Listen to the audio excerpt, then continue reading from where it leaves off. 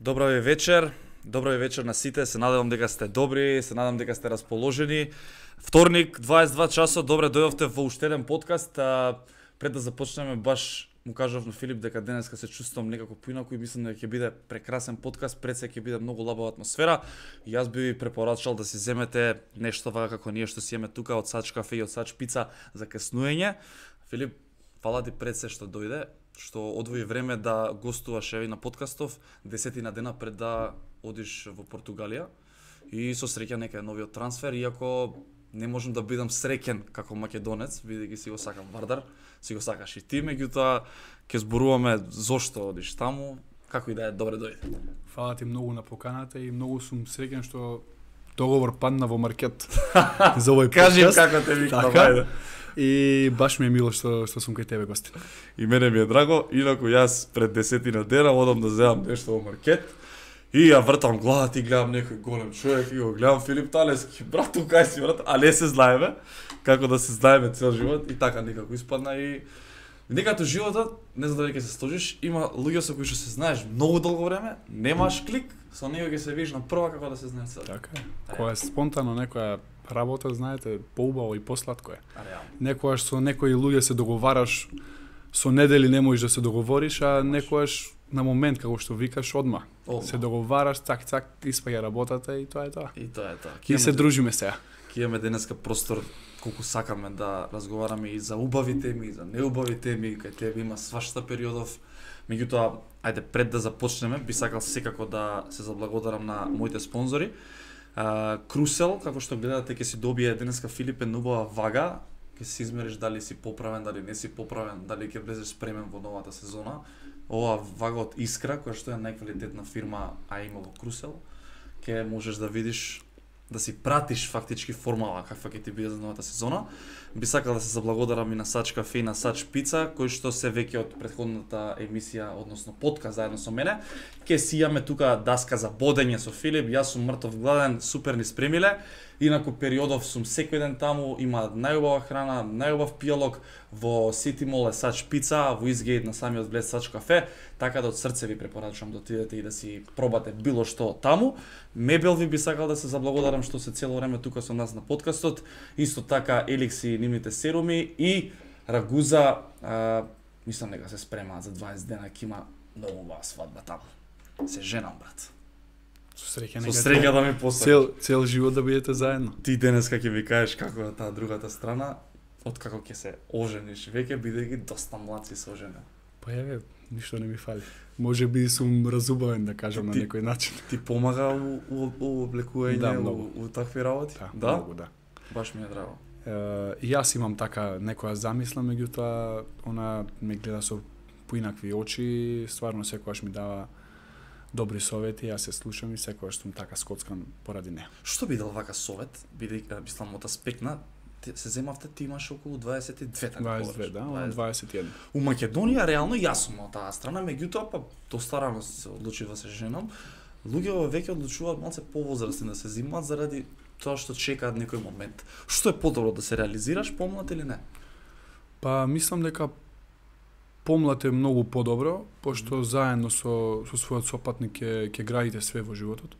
За мене од таа гледна точка е многу битна таа работа, пошто ако си повозрасен, немаш живци да речам на некој начин и тоа да отрпиш, пошто си живеел може би еве 35 години сам, потоа некоја заедница која ќе створиш сепак си имаш своји навики, нешто ново ти се случува, може би и на тие години тие што се земаат и многу брзо се разделуваат, така да според мене помлад која си е многу поубаво, пошто еве не да кажам дека дека јас сум а, помлад веќе влезен во тие води, меѓутоа според моје размислување е помлад многу поубаво, е, поради тоа што и кога ќе имаш наречам фамилија, деца, имаш повеќе живци, а по возрасен не можеш толку многу да му се посветиш на децата и да му дадеш тоа што А, треба. мислиш дека доаѓа некојаш во животот, знаеш, она неизживеаност и во подоцни години после тоа ти фали нешто што си го немал како млад.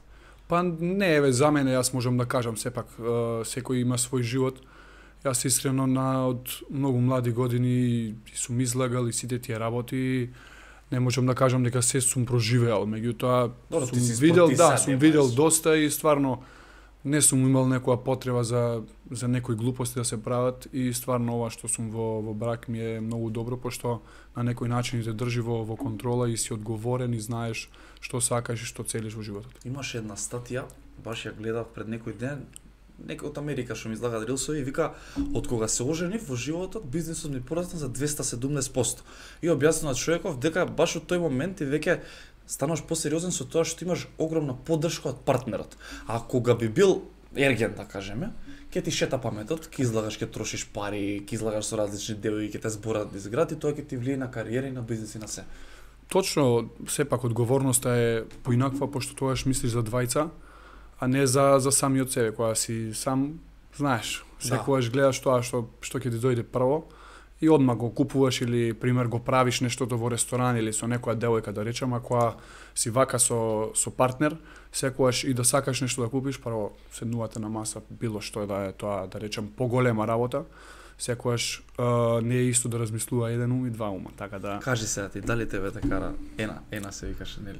Па, за некои работи што што ги правам и, на пример, што некогаш тоа и ми се одразува, можам да кажам и во на теренот ми се одразуваше Аха. пред да бидам така со незе и стварно да бидам по-безобразен, по-агресивен во тие моменти и од кога почнав да ја слушам за тие работи, стварно можам да кажам дека трна работата некако напред Така?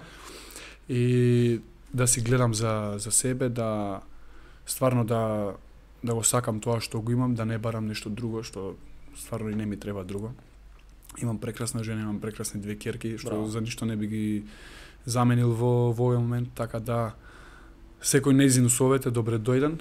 Сепак знаете, жените секогаш не, не секогаш некогаш претеруваат, меѓутоа нивните совети се најдобро за нас и најдоброто што ни го мислат нас. Јас вака се те слушам од страна, бидејќи ја имам уште 20 дена, а, ние се уште не сме живееле заедно, вие живеевте пред да се земете заедно. Да, живеевме Минува заедно. ли тој момент многу живот, бидејќи мене сега искрено, еве свадба ќе направам, ќе се земе. Што ми менја мене на 9 јули тоа што сме се зел на 8, меѓутоа јас се уште не сум живеел а, заедно. Па добро, сигурно и Минува веќе. одите и на одмор и сите тие Да, работи. ама друго е кога човек поминувате секојдневно време заедно. Да, кога не спијате заедно навечер подолго, сепак може би некои навики што си ги имаш ти, може би нема да ја одговараат на твојата сопруга и на сопруга е да кажем, пошто ти викаш дека уште не си Абе сопруга може. Ама сопруга ти е. Марта ќе се свиѓа Да. многу. сопруга, така да а, сепак знаете, мислам дека сите тајни си ги знаете, така да нема да има проблем. Да сте вечни. Убаво, убаво би било, убаво би било да да живеете заедно. Ние живеевме 6 месеци, па стапивме во во брак, така да а, нема проблем според мене. Може би да не живееш ден со со својот сопатник што сакаш да да бидеш, потоа ќе ти биде се совршено. Ја така мислам. А, да ја поздравим и вас гледачите. Денеса ќе се трудам малку повеќе да ве вклучам бидејќи добив ете критики добронамерни од вас дека на моменти ве заборавам. А, пратете на што зборуваме на било која тема и само така ќе можам да ве вклучувам за да имаме течение на муабето за да не забегуваме од тема на тема. Едни велат на 30 години, други велат на 20 години, така да ова е дискутабилна тема, меѓутоа после кога ќе дојдеме до свадбата од твоите керки, малце поише ќе ја разработиме да темата, кажеме. може. Јас би сакал сега едно вакво кашка алше, слободно да си земеш и ти. Јас се надевам дека не се осикаш како на телевизија, Не, така да, различно е ова. на здравје него ти е, може Фала да си ти, многу е вкусно. Ето така. М, Со Треба, работките, со работките да се множат. дај Божи со, еве друг сте тука, со една да си отидете до изги, да се седнете. Ја часта ме гледа генералниот директор за Филип, таму не попуст, ја частам све.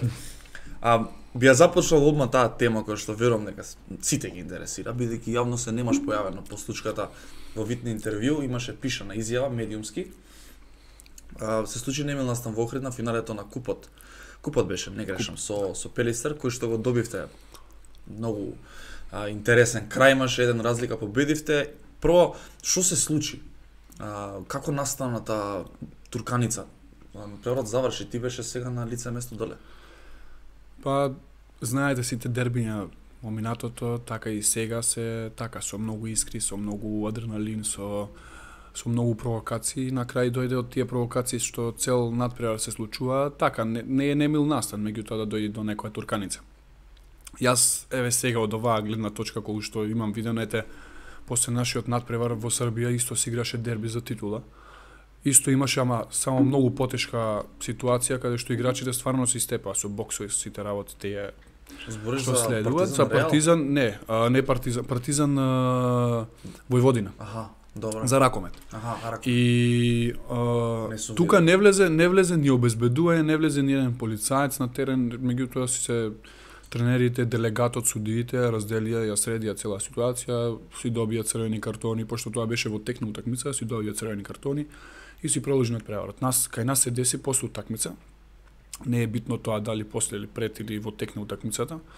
Меѓутоа можеше тука да бидат само тие а, луѓе што беа од обезбедувањето организирани од, од организаторот. А не полиција.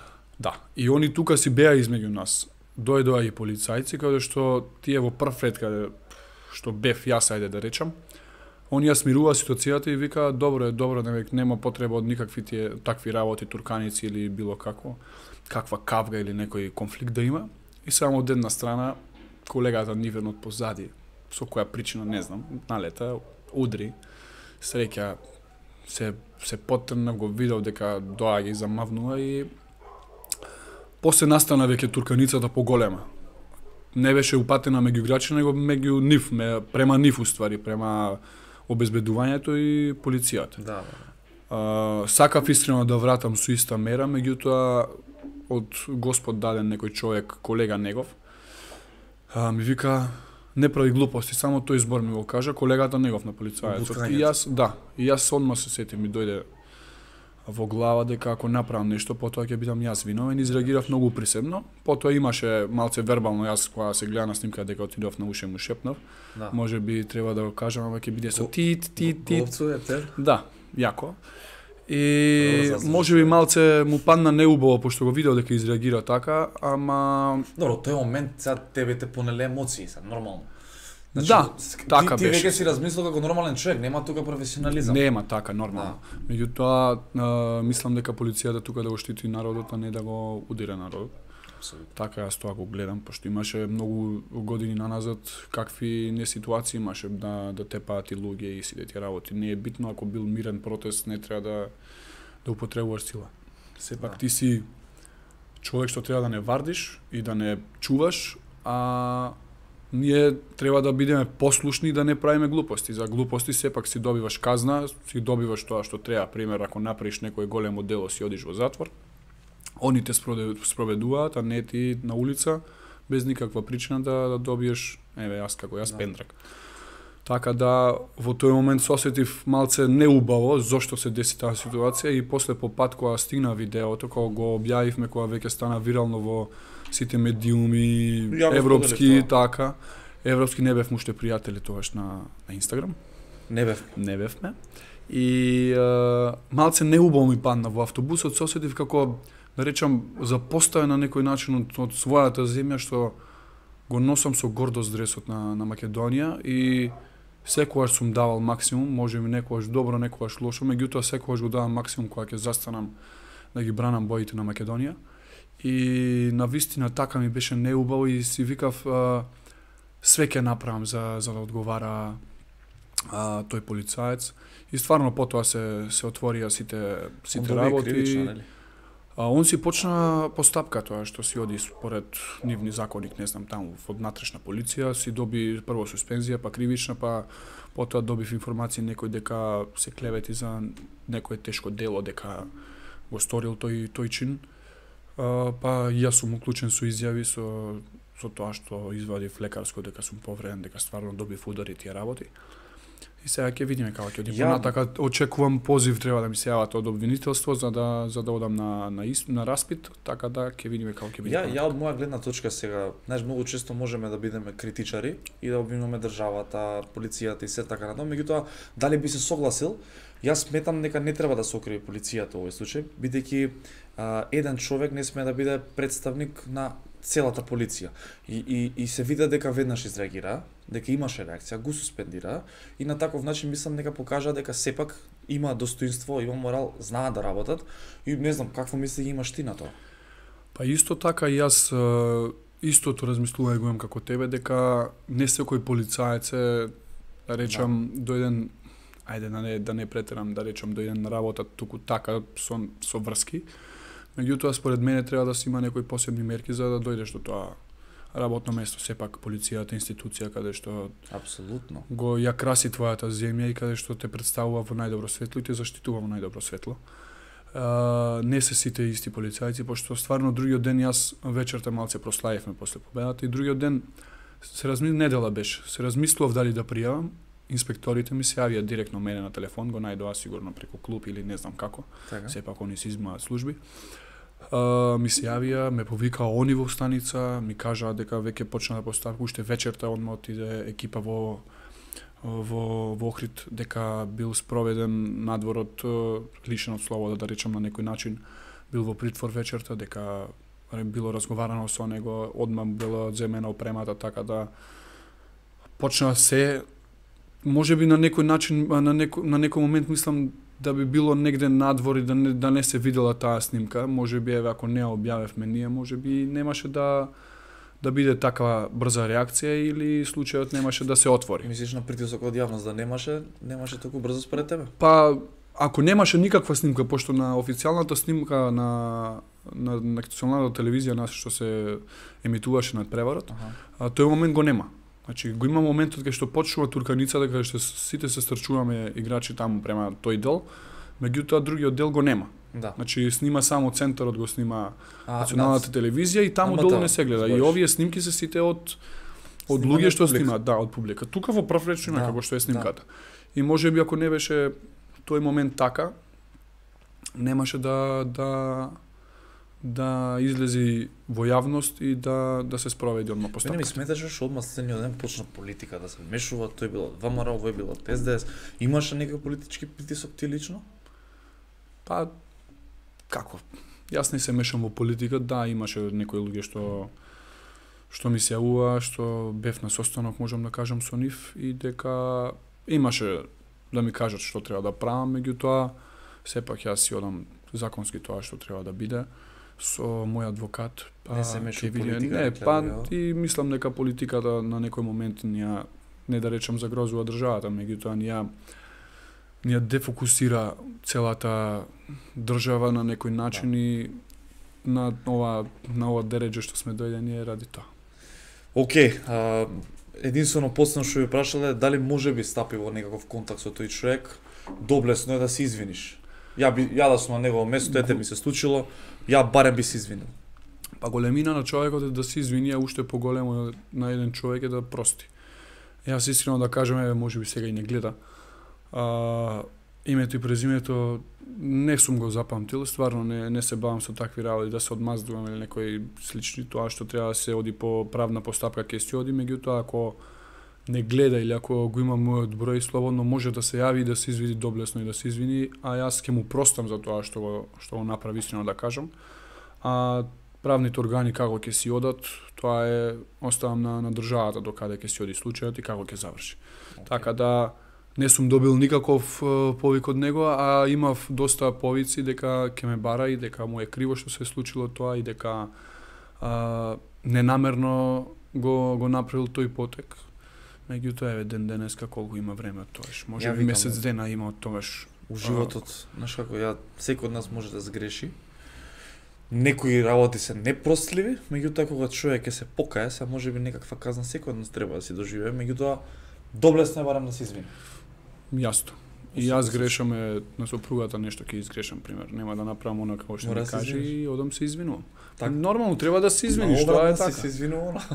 Се извинува. Се извинува? Она секогаш се извинува за за грешка. Добро. Јас некој знам да бидам по така повеќе до себе, меѓутоа ми е грешката. А, не знам дали, ајде, окей, а, можеме да направиме муабети за сезонава, иако би сакали за ќе преса кажа Радовиш, значи Мискара, значи не Радовиш. Кичево, Крушево. Крушево. Ле, ле, паку. ле, ле, ле, Не, Ајде на трета не, мајка. не. Добро, да, ајде. Значи не не Радовиш, Еве простино, простино ти е ова. Не, ја, а, значи кај што е Тоше Проевски, таму Бог да чува. За сезонава сакам да те прашам прво. Може слободно. После за Кичево. На кај? доста доста турбулентна, а, чудна пред се. А, толку ли е лоша ситуацијата у Вардар што моравте да играте 10 луѓе цела сезона? Па тоа се виде на крај. Сепак ние не посакувавме да завршиме на трето место, на трета позиција. А, сакавме да бидеме шампиони.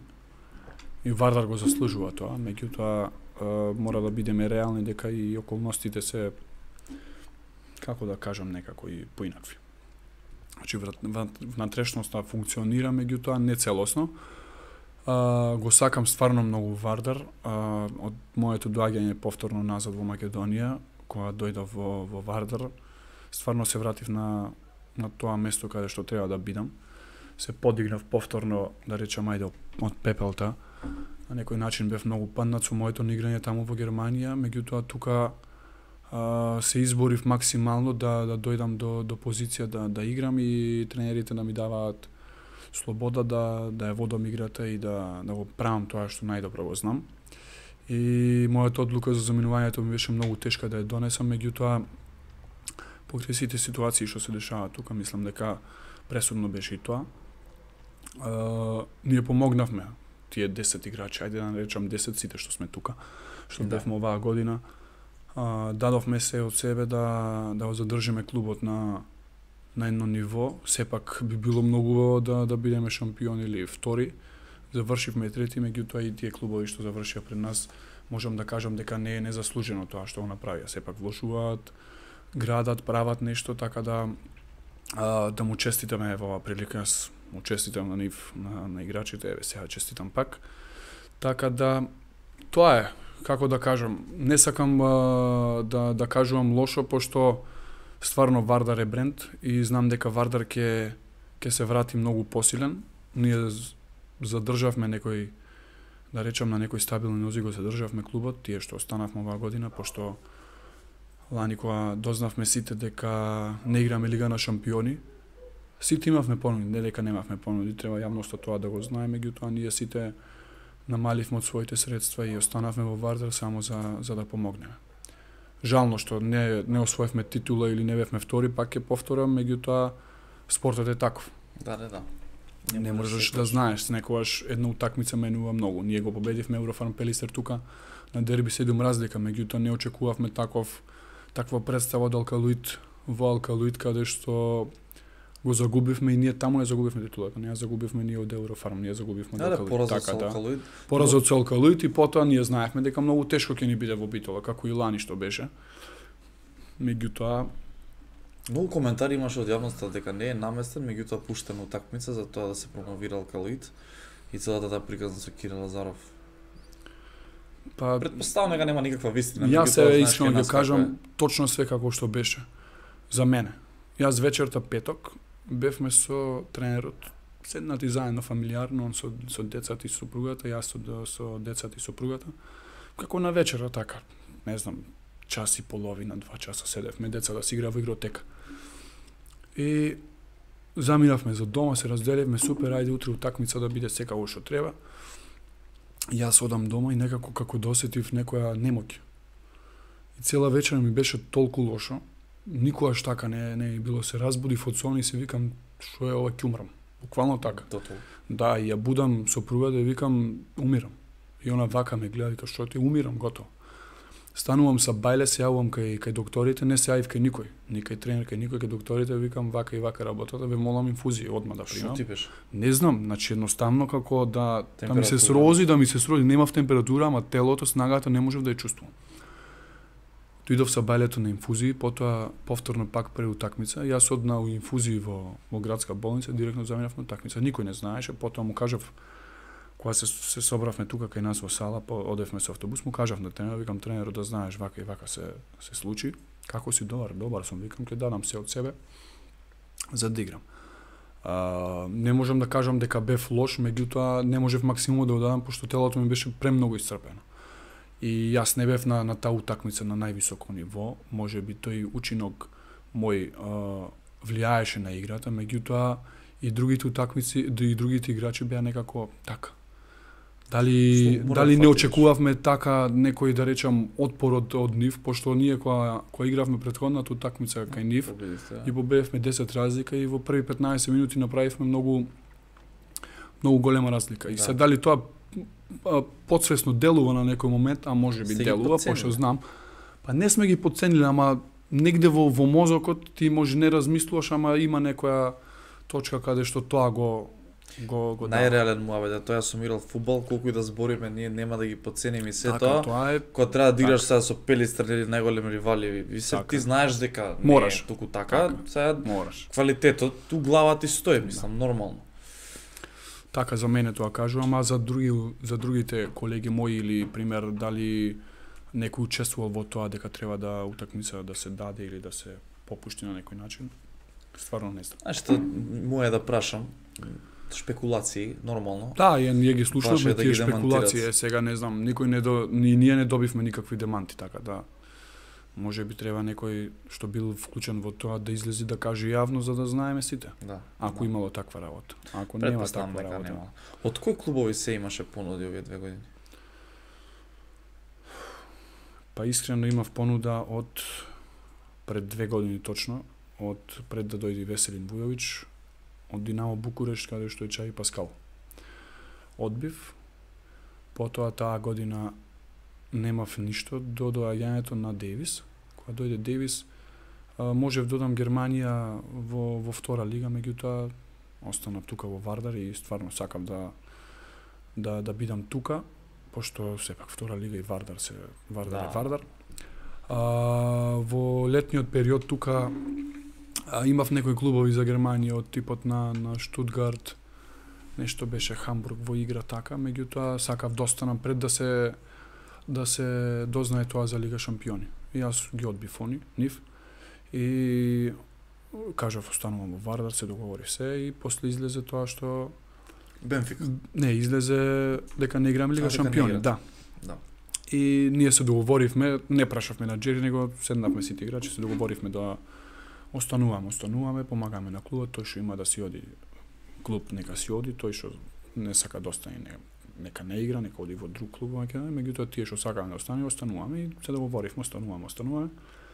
Потоа во октомври имав од Мелсунген, во ноември од Лајпциг, во јануари, тоест декември, крај на декември, почеток на јануари од Вецлар, па крај после првенството во Штутгарт се одбив и на крај беше Бенфика каде што покрај сите тие турбуленци што знаеме што се дешава и избрав Бенфика, ми се јави тренерот, ме посакуваше и така да. Што е понудата ли беше нај најинтересна од Бенфика? А, понудата. Знаете, не еве и нашиот председател знае дека не трчам на некој начин за пари. Да би сакал да трчам би би се замилал од Вардар искрено. А, сакам квалитетно да да напредувам, пошто знам дека можам уште. И најголемата одлука беше тоа што тренерот ме сакаше, ме сака уствари и он ја има таа иницијатива за да ме земе во неговиот клуб. Не посакувал ни друг, никој друг бек, а имал доста понуди од други менаџери за други бекови, он ме сака само мене. Така. И неговите цели се споја со моите цели што ги сакам да да освојуваме титули и тие работи. Прво ти си многу млад се уште, мислам за за ракомет. Не сум млад остарен 27 години. Многу старе за Многу, Кира 20. до 40 кај играше човекот. 42. Е, Растудаш. јас искрено еве сега јавно да откривам, сакам до 43 да играм. 43? Да. Ама поминеш Границата, возрастната да. граница? Ако можам сега, ако ме чува Тоа Господ да е нема може би реално нема единствена шанса нешто да го поминеш, мислам сега не ти, ама Кира направи рекорди така е, и нема бројки. број кои број што еден. на светско ниво не знам дали Така. некој у, у блиски днина ќе ги помина. Број еден е, капа му спуштаме за тоа на, на Кире и стварно има од кој да учиме и да земеме пример. Тоа тука нема лажење или некои други лоши коментари. Тоа е тоа, тоа е реалноста, бројките кажуваат, трофеите што ги има освоено. Наше е да да се угледаме на него и да работиме по неговите стапки реално.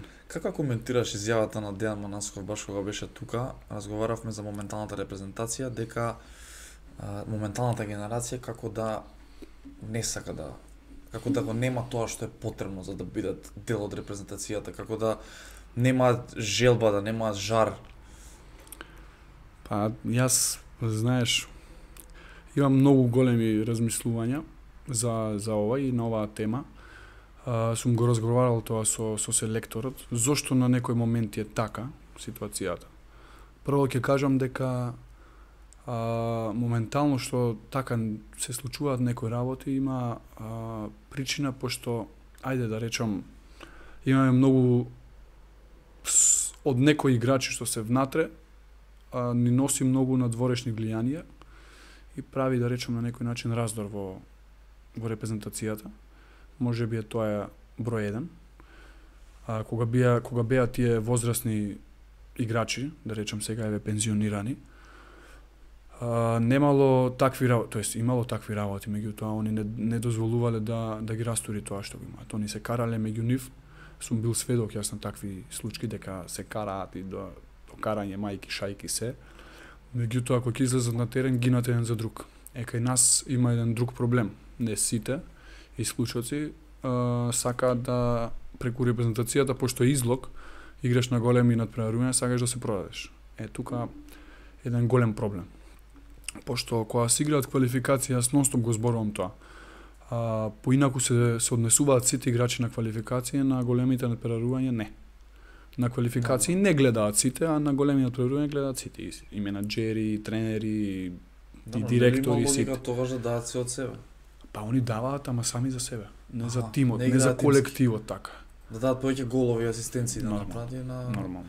на тако. Сега на таков начин да се продадат. Мислиш дека тоа е една од главните причини што е колку на Кире, Кире нема да е Кире ако ги немал Миркуловски, Ванчо Диновски, Стојанче Стоилов, Наумче Мојсовски, да не ги заборувам сите што што играат таму. Кире да, давал по 14-15 гола погодоци. Ама ајде да речем не сите, ама пола од тие му ги имаат наместено колегите.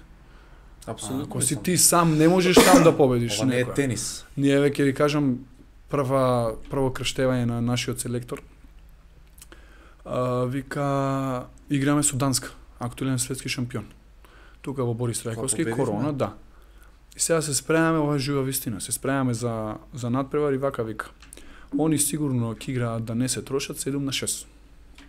Стварно така испадна да играат 7 на 6. Е сега вика ние знаете што ќе правиме? Ќе ги затвориме пикерите и ќе оставаме да шутира Хансен. И се ние вака седиме на состанок и викаме како Хансен. Хансен е најдобар шутер моментално.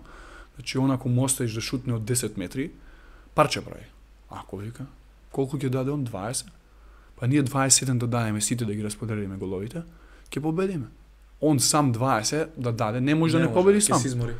Стварно, он ни даде 10 гола, ние ги затворивме тие нивни јаки страни што му имаат, например, сега тој младиот Гицел, што е пикерите, каде што играат доста со пикери, и ние победивме.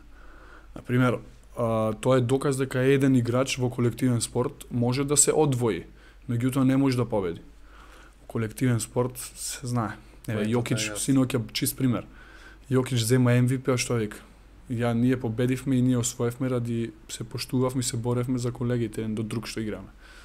Ако не го правиш тоа во колективен спорт, мислам дека немаш успеха, тоа се покажува во последниве неколку првенства. како да поработите на на тој однос? Тука треба и селекторот, Знаеш како како јавност, како гледач, како фан, а, некако се разгаливме, не разгалија тие генерации, па ти беше дел од таа репрезентација.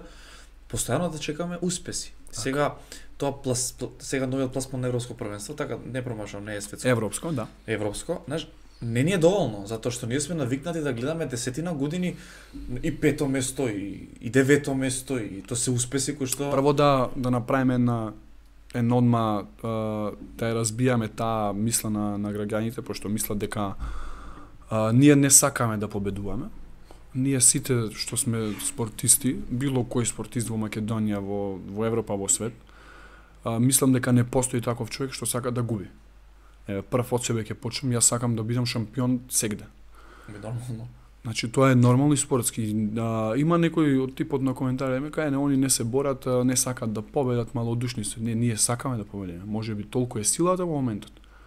Да. Ама дека не сакам да победам или играм намерно лошо или намерно промашувам, мислам дека ако дојде до тој степен да осетам дека стварно ми доаѓа тој момент дека се едно ми е дали ќе промашам, ќе си уземам ранчето и подобро да се откажам од тоа што го правам. Апсолутно. Реално е така. Да. А дека а, на, научена е македонската јавност на тоа, да, вистина е дека е така, меѓутоа треба да има трпение, пошто ајде ние подолго сме јас Кузмановски и уште неколку играчи со со постарите. Меѓутоа и ние не сме имале главна улога на на момент. Ние да сме појавувале, се сме се појавувале тука. А сега добивме еве последни две првенства каде што ние мора да носиме и мора да играме.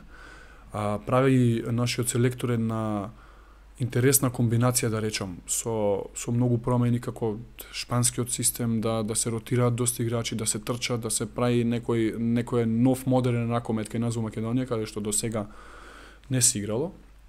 А грешиме, меѓутоа за се треба време. Еве пример, Раул кога дојде во Вардар не направи првата година резултат. Направи после 4 години резултат. Како можеше за Вардар да се чека, пример, што е клуб, а за репрезентација да не се чека. Па може би баш тој репрезентација. аспект, што на јавноста е веќе навикната. Па јасно, и сега и за Вардар е навикната јавност. Да, да. Така? Да. Ама треба некогаш да излезат тие што го водат клубот или а, тие што ја водат репрезентацијата да кажат луѓе. Јасно е тие работи да да ви очекуваат и ние сакаме, кој не сака. Сите сакаме да направиме успех и да дојдеме тука на плоштад и сите да славиме. Така. Како што беше минатото со кошаркарите, па ракометарите и сите тие работи.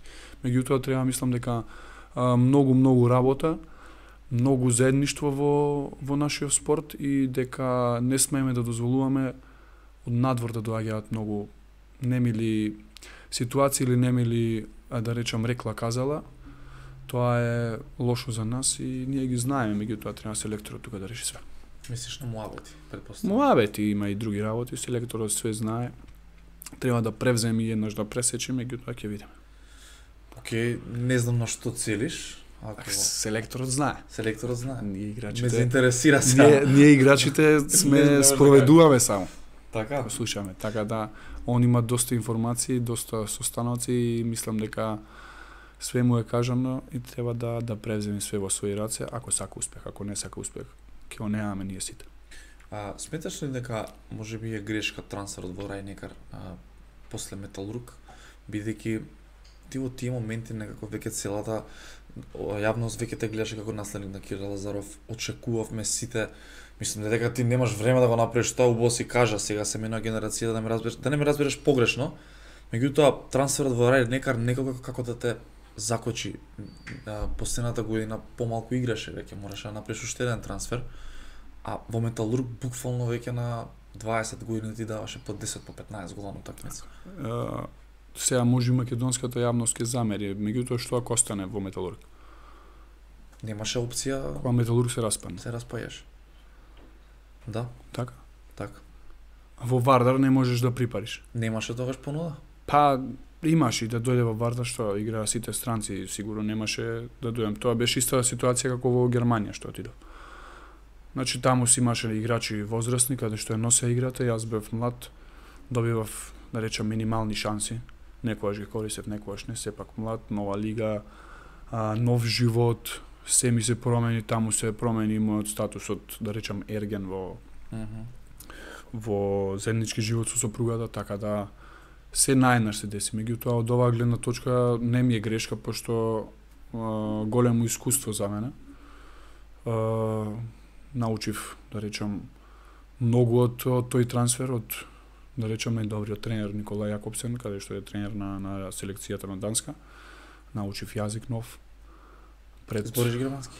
А, литературно, да, литературно и граматички не точно, меѓутоа разбирам све и сепак знам да се разберам нормално е сега да треба да пишувам или тие работи Нормално, да. граматички точно, нормално дека не знам.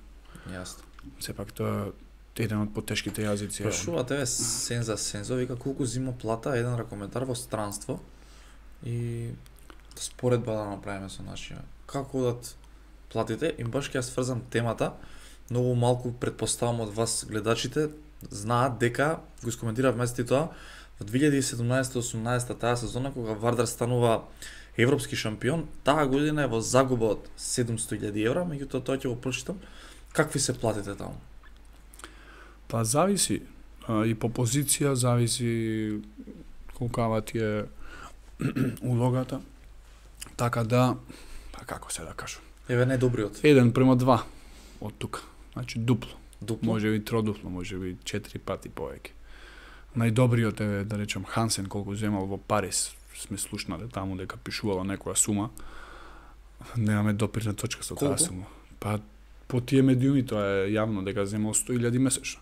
100.000 Се во според, да, споредба со фудбалот Не, е нака. Али споредба со Хансен и Македонија, најдобриот во Македонија колку зема, моментално, нема допирна точка. Што Значи, се ни близко. со македонските клубови? Еве баш ќе го прочитам ова. А, значи Вардар станува таа година во загуба од 44 милиони денари, односно 712.000 евра.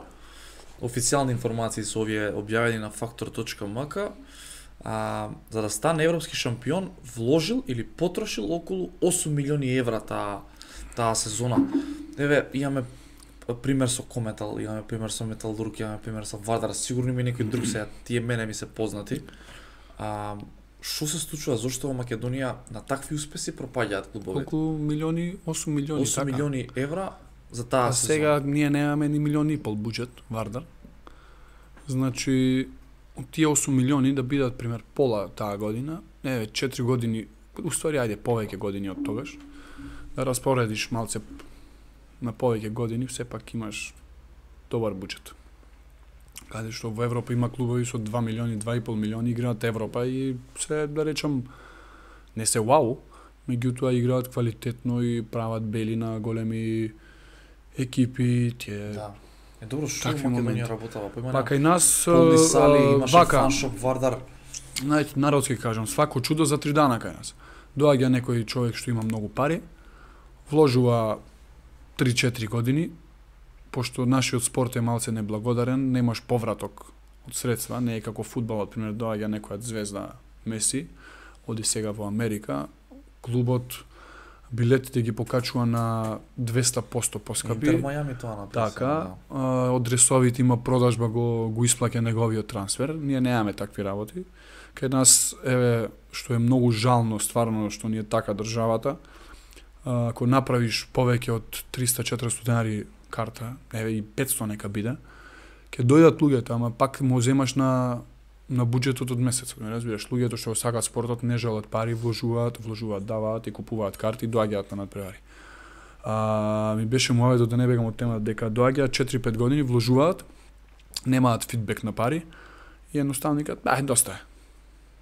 И како така? Подобро ти ако имаш за тие 5 години да вложиш 500 милиони, лупам сега, Да. вложи ги на долгорочно на 50 години или на 5 15 или на 20, лупам сега, направи некој баланс, И ќе се вратат.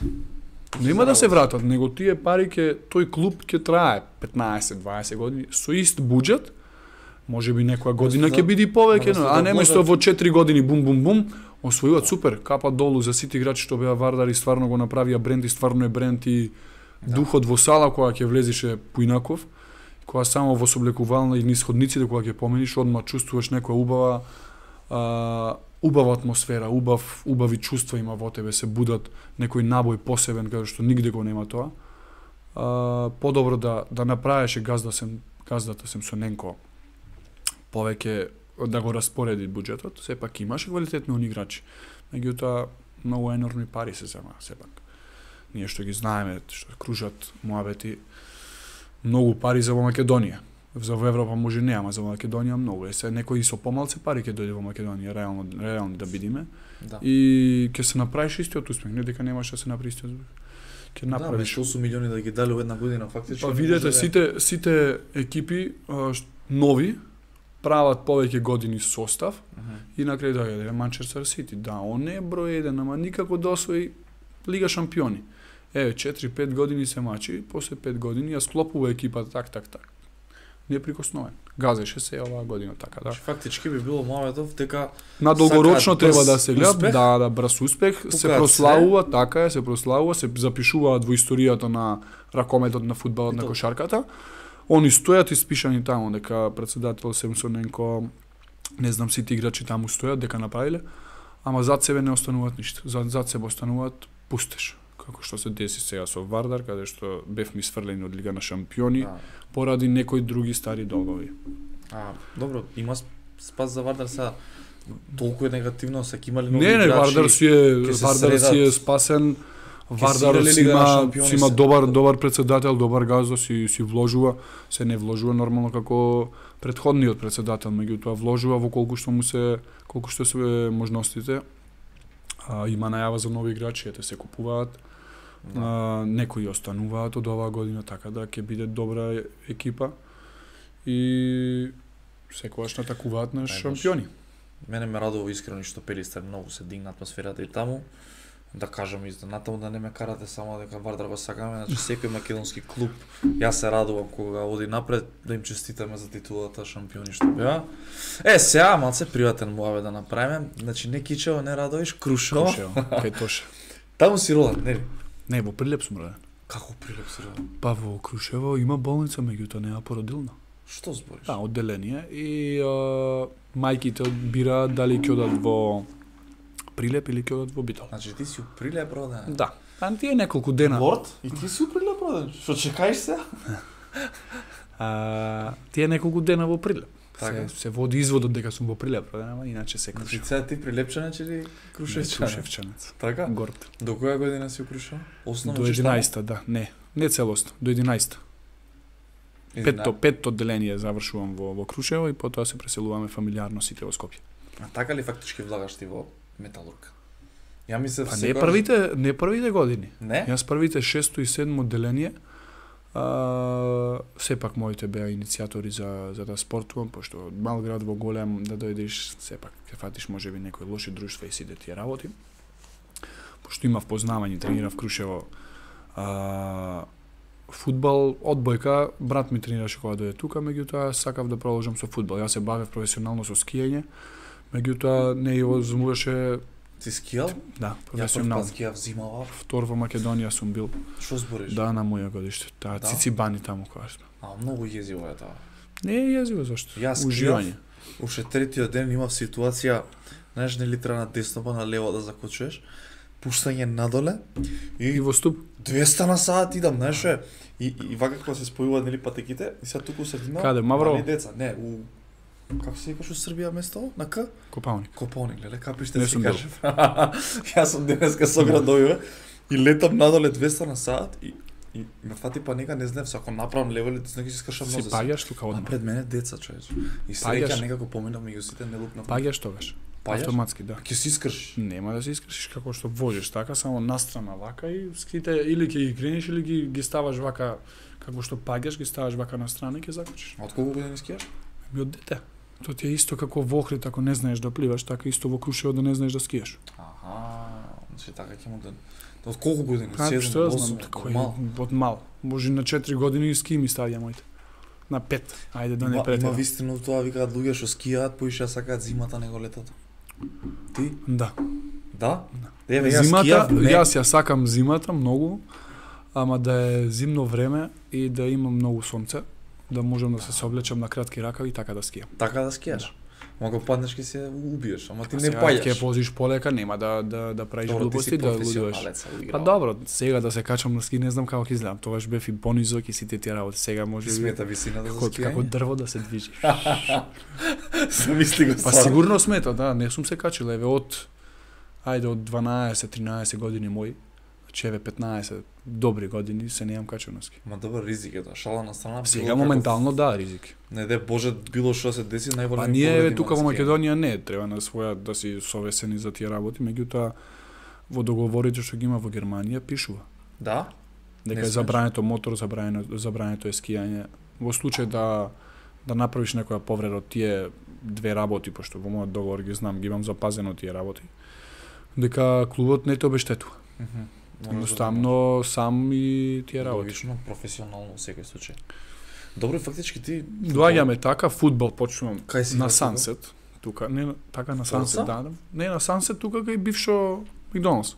Тука кај комплекс е. Форца е тоа. Форца е тоа. Оти со Сансет јас го знам. Сансет Па се мислам вика, дека и клубот е Чипун, Форца. да, мислам дека и Чипун, Чипун, да, може да беше и он.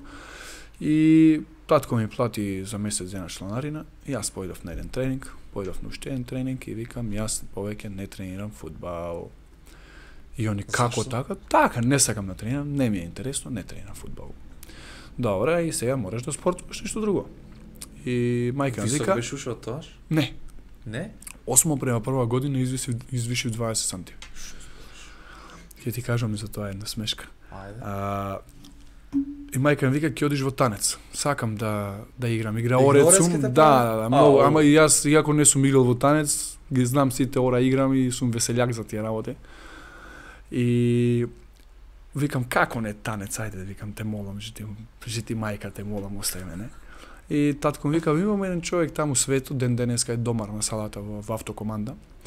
Вика, колега ми е на работа, да тоа не си во металург, на раковет. Јас појма немав со раковет, жи ми се. Ништо никад не. Ништо, ништо никад. Можда моите гледале на телевизија некогаш, Колку ама беше јас... висок, се сеќаваш у Сандин? Па дали бев метро 70 или метро О, значи, 65, метро 70, ајде така ќе висок кажам. за тие Да, години, пак. И ајде одиме на, на ракомет. И првите два месеци бе во, во школите. И после среќа моја се формираше генерација 96-97 со сегашниот тренер на на Еврофарм Пелистер Александар Јович. Не собрати е од генерацијата што сме деца и почнавме да тренираме со него. Значи, Значи, ти си тренирал со буквално- Бојан Блажевски, со Џони, Сите генерација, генерација мене и знам која иде, јас Не, да така, со нив, со сите. Со Божо, со, со сите. Они освојуваа прво место државно Така секоја година. Сум играл против нив. Ти у која школа беше? Во Љубен Лап. А, го јадевте вие. Да. така се што. Го јадевте. И а, се направи таа генерација и буквално почнавме онака содење. Значи без топки. Да одиме, па да трчаме, па лево, десно, па тие работи. Досадно на почеток, викам, шо, ама после веќе кога навлагаш, некако влезе под кожа и сиде тие работи почна. И отидов јас на летен распуст за Крушево. Имавме пауза два месеци од така беше. И после тоа се враќам и тренерот ми вика здраво се собираме сите здраво име презиме од тебе. Па викам јас сум Филип Талески. Не е можно. Викам зашто? Па вика тоцкав беше сега си толкав. 20 сантими тоа лето извишев осмо према прва година, пошто осмо одделение почнав прв пат со ракове. Значи ти си бил дев, метро 90. Метро 90 кога дојав, да, и извишив од тогаш уште 12 сантими до сега. Сега сум 202. Ле, ле. Како извишуваш бе, дај кажи ми нека. Па тарана ми става, не ми тарана во Крушево, на Така? патиките, да. Јас така се смеам со сите, викам тарана. Може би до воздухот? Не, се шалам генетски малце и Високите се А, твои? да. И татко ми и мајка ми да речам за жена може би е висока, али по- повеќе ми од страна на татко ми сите Добро, од таа. да фаќаш девојчиња беше. Тогаш Тогаш. не бев многу по тие работи. Не, а? Не, Не. ти идеш? Не не ми идеше, него не излагав многу. Зашто? Стварно. Посветен на ракоме? Многу бев посветен. Еве сега на пример можеш да ги прашаш слободно Божо, Даре, сите тие од твоја Да. генерација. Стварно идев многу и они доаѓа, меѓутоа идев многу почесто од нив од Сабајле со, со тренерот, сами индивидуални тренинзи и бев стварно максимално посветен. После излагав, ајде да речем, од кај 18, од 20, 21 година. Стварно тие 4 години беа малце Океј. Што Стана Добро, популарен сега. Па не популарен, него Почна почнав да играм, не почнав да играм. Почна заработуваш. А, почнав сам да за- заработувам, тоа е прво и едноставно не му бев терет на моите сепак. Да излезам во град сигурно нема да излезам со 100 денари, треба ти требаат 500.000 во тоа време, повеќе вредност имаа парите. И се а, кога дојавме тука само мајка ми работеше. Малце и од таа страна бевме дефицитарни да речам. Меѓутоа се во животот е, е школа и потоа од кога почнав да се работувам, почнав и јас да помагам дома и се осеќав добро, имав пари свој и добивав стипендија и од државата. Така да си правев некој буџет и си излагав почесто. И стварно интересно беше, се дружевме, излагавме. Јас сум наискрено, јас сум како тебе дете кое што никош немало многу пари дома. Дефицитарно кој што кажете. Јас сум помногу благодарен од тој аспект што сум растен така, отколку да имам пари дома и да ми се олеснати многу работи. И Знаеш, децава сега ги гледам со айфони, со Да. телефони, со свашта, со полуматуриве сега кога ги гледам, боже саче се крсти човек. Точно. Со трубачи, со, Со- свадби правење, со тие работи. Знаеш што да си постигнал во животот, знаеш, ги гледам, а може би убаво се, знаеш, ние сме млади, не гледаат да се да го спомнеме тој момент како ти си го доживеал, на пример. Тоа што јас се сеќавам лично, имав игра фудбал до 17 година, бев добар утро, тоа, ама се повредив, немав среќа. Имав една година кога моите не може да ми платат ниту за патување екскурзија, не екскурзија како се вика тоа, турнир, пример, у Шведска беше. И за тие моменти после тоа мене ме натерале да станам тоа што сум денес, знаеш, не ми направило комплекси и фрустрации, кај тебе како било? Па исто е, јас не патам по ништо во животот. Некој вози, пример, не знам, Ферари, да го посакувам, може би еден ден и ќе го ќе го имам. Ама знам дека не е се во тоа во парите и сите тие работи. Сепак треба, еве како што викаш ти, а, си се повредил на 17 години. Еве јас немам а, такви некои повреди, ме чува Господ, еве да чукнам во дрво. А, така да подобро е да имаш здравје и да имаш среќа во во фамилија, во во тој најблизу круг, отколку да, да имаш пари, а да немаш ништо. Апсолутно. Знаете, а, и стварно еве јас ке на тоа ни, мат, ни полуматура, ни матура сум славел јас дома како што прават сега свадби. Едноставно мајка ми дома ќе спреми нешто, ќе дојат најблиските роднини што можат па пошто доаѓа од Крушево или тука што што имам некои пријатели да речем десетина души на некој така бројка на, на рака се се бројат. И тоа ќе си отидам во ресторан и сите. Сум одел на екскурзија, некој оди на екскурзија со по 3-4 денари, јас сум одел со по 700-800 денари. Платен екскурзијата и тие тие работи, меѓутоа тоа те те челичи на некој начин. Јас не сум ни одел. Па Но добро. така, Добро, зна, и моите на пример, ај види Не, јас не ради пари, ја поише ради немав среќа са а, кај нас у, у фудбалот, не знам кај вас дали е така, ама можда е во мај месец почнуваа собирите за репрезентација. Аха, да. Шанси нема, ќе се така, погоди така, тоа. да. И ја, ја, ја на пример нема отидено на ниту една екскурзија во животот. Ниту А, четврта, не ни осма, ни у не си трета. пропуштил ништо. Јас не сум бил на таа во трета година. Абе види, знаеш како пајата овој аспект, не пропушташ ништо, ама убаво да живееш. Добро, Али јас да. толку бев јас посветен на спортот и секој ќе споредиш да би се врати времето истото би го Истото. На пример, ете некои од од моите, да речам, а, соученици ден денеска што сум другари во контакт, на пример нема доживено тоа што јас сум доживел, да ги да, да посвет да ја цела Европа да имам прошетано, да сум бил и во Африка, да сум единствено во америчките континенти не сум бил таму. Да сум била јас. северна јужна. Ама, ете, на пример, некој не може да да отиде што се вели зборот ни да да речем во Шпанија. Да. А ние го имаме тоа на дофат во секој момент. Одиш играш таму, два-три Да. дена ќе видиш нешто ново, нова нова цивилизација, нови нови луѓе, ново а, нови градби да речеме, ете, некој Да. ужива во нови градби тие работи, така да. Ти фали ли малце поише слободно време? Мислам, тоа што имаш нели богата кариера, цело време си активен, што знам. Па слободно Многу време. спортисти се жалат, деве на Кавани на изјава баш читав. Луѓето мислат дека спортистите се многу стрикни луѓе, а уствари спортистите имаат 20 години живеат како роботи. Грилиш пред некој ден, ќе те прекинам, е, нели си ти освет А, Многу гледам него, се многу него тешко му било, гледам. лом се направи и сега на, на ударе на цел свет. Па он е типично англичанец. Добро? Тие како германците, тие некои скандинавски земји, од понеделник до петок работи, сабота излава се прави ферфеле, недела одмара и понеделник јово на нова. Да. Значи, они така живеат, јас за германците можам да кажам дека така живеат. Може би тоа е добро на некој начин, може би е лошо. Според мене е лошо. Да. Ти на пример да работиш постојано, а да не си удоволуваш тоа што еден што еден човек си го сака, стварно е лудо. За зошто работиш? Да, да. И еве јас на пример сум среќен. Ако пример патувам многу, некогаш ми е тешко стварно, пошто еве имам фамилија, две деца и ми е тешко некогаш кога сум долго на патување и ги немам видено и сите тие работи, меѓутоа после тоа надокнадуваш, се враќаш, немаш некое патување, недела дена си тука, одиш на тренинг, во тек на сезона не тренираме по два пати. Некојаш да се случува во, во текот на неделата да имаш еден ден или два дена по два тренинзи, меѓутоа сето другите се по еден ден, по еден тренинг, дали по план или од сабајле. Најчесто е сега оваа година тренерот ни се за во сусрет имавме тренинг постојано во 12 часот за ручек. Можеш и пред е, тренингот, а после тренингот си слободен да планираш нешто, после тренингот фамилија сите да ти работи, да излезеш убаво време и се. Така Добро, да не е така. твојот Добро, е- сепак фудбалерите малце му е покомплицирано, они си имаат и може би поригорозни казни или како да кажам дека мораат попринципиелни да бидат. Ние сме принципиелни, тоа е совеста на човекот, меѓутоа сепак дека немаш време или да, да не си среќен со тоа што си спортист, мислам дека е лудо да го кажеш. А, да прочитам некој прашање, викаат во која населба живее во Скопје? Немаш потреба да кажеш, ќе те замарат. Нема врска во Новолисиче сум. Сите ве спортисти Ново Ли... Ново Лисиче е град, А град, ние имаме населбата на успехот. Така, ние имаме стан позади, јас сум тука израснат кај кај воен базен. Стварно? Ти Да. си од аеродром? Да, аеродром аеродромец, си да. И а, моите живеат таму и кога доаѓавме од Германија, јас си кажав на, на сопругата, викам, еве ти не си живеела во Скопје, она од Битола, ама преселена после во Германија.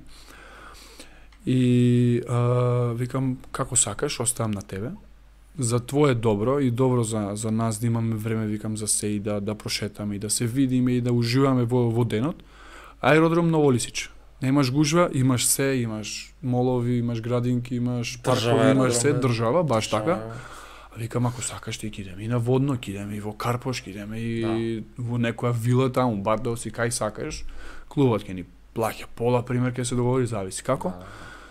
Не, кај ќе кажеш ти, добро, викам, чим јас кај ќе кажам и се деси ситуација, мој колега, бивши Мгм. од репрезентација, веќе пенсиониран, има стан тука и ми се јавува он случајно. А вика, стан да не бараш? Да, барам. Кај ти е Ново Лисич? Пуштај слики. Пушта слики. Дел. Одма. Нема, нема, Си нема. купи одма? Одма, не, не го купив, него под кирија сум кај него. Аха. Имаме ние стан, моите не сакаве да ги селиме. Така. И тука сме во Ново Лисич на Браво. 5 минути. Браво, и, и битно у животот, прво. Ја, ја никош не би можел да бидам среќен ако моите не се срекни, шо знам. Па така е. Нема треба. логика у таа ситуација, твоите да идат под кирија, ти да земеш стан. Ма не да не се они да бидат несрекни, меѓутоа јас и тоа и со мојата сопруга во разговор јас кажав на нив од кога дојдоа тука во Скопје, они да речем вложуваа на некој начин во мене за да и во брат ми за да излеземе на прав пат. И сега сум бил јас во можност да сме купиле стан, меѓутоа мислам дека на нив му е местото таму, да Браво. живеат во тој стан. И јас дур сум, дур сме ние живи заедно со сопругата, они ќе живеат во тој стан. Едино ако имам можност да купам уште еден стан, па да да направиме договор пошто ова е малце поголем, нас да ни биде по-комотен со со децата кога ќе се враќам од странство или ако еден ден бидам повторно во Македонија. А, да ти си живееме го купил таму. Станот и си дозволуваш твоите да си живеат, да, Да, ти одиш под да, кирија. да, така, така. Браво. Јас само што заминав во Германија, пошто ние може би направивме некоја грешка, меѓутоа како што кажав, само мајка ми работеше и немаш толку средства за да да бидеш сигурен и да вложиш во стан. Ние тука во Скопје живеевме 11 години под кирија. Колку и да не сакаш, плаќаш. Ти на пример за тие 11 уште 10 ки плаќаш и ќе го купиш станот. А, не купивме и со моето заминување за за Германија, пошто таму сепак европски договори не може ништо да се деси Да. и да згасне клубот, тие пари ги добиваш од државата. И јас кажав одма, ве молам, барајте стан да, да купиме. И мајка ми пак беше така. И покрај тоа и татко ми што работеш, демек не дај да не да не влагаме, демек не да Господ да се деси страв, да, викам не влагајте се е сигурно и така. На кредит го исплативме Ја ги разбирам и твоите и моите се од време на транзиција. Знаат како Да. е да се изгуби се. Кај мене малце поинаква ситуацијата, ние имам изгубено два стана во живот. Мгм. Сега јам купено, ама го купив као за мене и сега еве баш пред некој ден го зборев тоа со Марта, мојава девојче, додека не го решам нивниот проблем. Па, Сопруга. Сопругата Марта, да. Ми искарна. Гота сопругата. Сопруга, чим прстен си дал сопруга, е, дека нема назад. Чекаме да ми Пупу не важи, не може. Не, не, не. Вереницата ме чек. И си викам баш да дојде момент кога ќе го решам нивното, тоа ќе бидам и јас среќен. Ќе збориме сега за твојата сопруга, напред да збориме за твојата сопруга. Ова е а, вага која што кажав на почетокот за тебе поклон и би сакал sad им Многу. дам еден поклон на нив.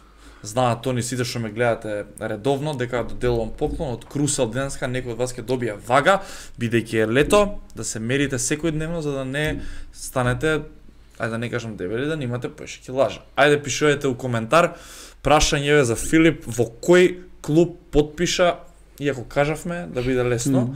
Каде ќе оди да продолжи е, со кариерата Филип? Е, добива некој од вас од Крусел. Он ќе каже Може меѓу време Јас да кажам да стоп. земеш едно две. Јас да кажам стоп треба. па да, стоп можеш да кажеш. Да боцнеме чеќе да го пробаме ова. Пишуваат, пишуваат, леле. Фул. Леле, леле, сите Значи знаат. од, од Сач кафе партали јадење. Сите знаат. сите знаат кога. Не мога да еден ќе погоди сите после знаат. Мгм. Кажи стоп. Стоп. Томче Перовски, добиваш од Крусел една убава вага. Те молам запиши господине за после тоа да пренесеме и сега ќе до- доделиме уште еден поклон за вас. Вечера во Сач кафе. Значи не мора да бидете партнери, можете да си земете другар, другарка, мајка, татко, како сакате. Шо и како ќе ви кажат таму. Може да кажеш пак стоп, еве изброј 5 секунди да не биде дека одма тука. Стоп. Еве, ќе добие Ненад Крстевски вечера за двајца во Сач кафе. Те молам господине пишете Ненад Крстевски. Значи Ненад дали ќе си одиш со девојка ти ако имаш, дали ќе си одиш со мајка, баба, другар, Значи можеш да одиш и да си поминеш убаво таму. Иначе фала ти многу за наградата. Стварно ќе се погоди овој период. Ќе ти треба? Па не на мене, на сопругата. Зошто? ја спомнавме сопругата пред наградата, пошто Здебелена сега она што? не не е здебелена, меѓутоа сака да да постигне некој резултат и секој дневно се качува на вага. Така? Е, Го постигнува полека резултатот, меѓутоа секој дневно мора да се измери. да. Вежба? Вежба, вози ролери, ме не е малтретира, меѓутоа ми прави и мене добро, ме носи во сауна, она сака да оди во сауна.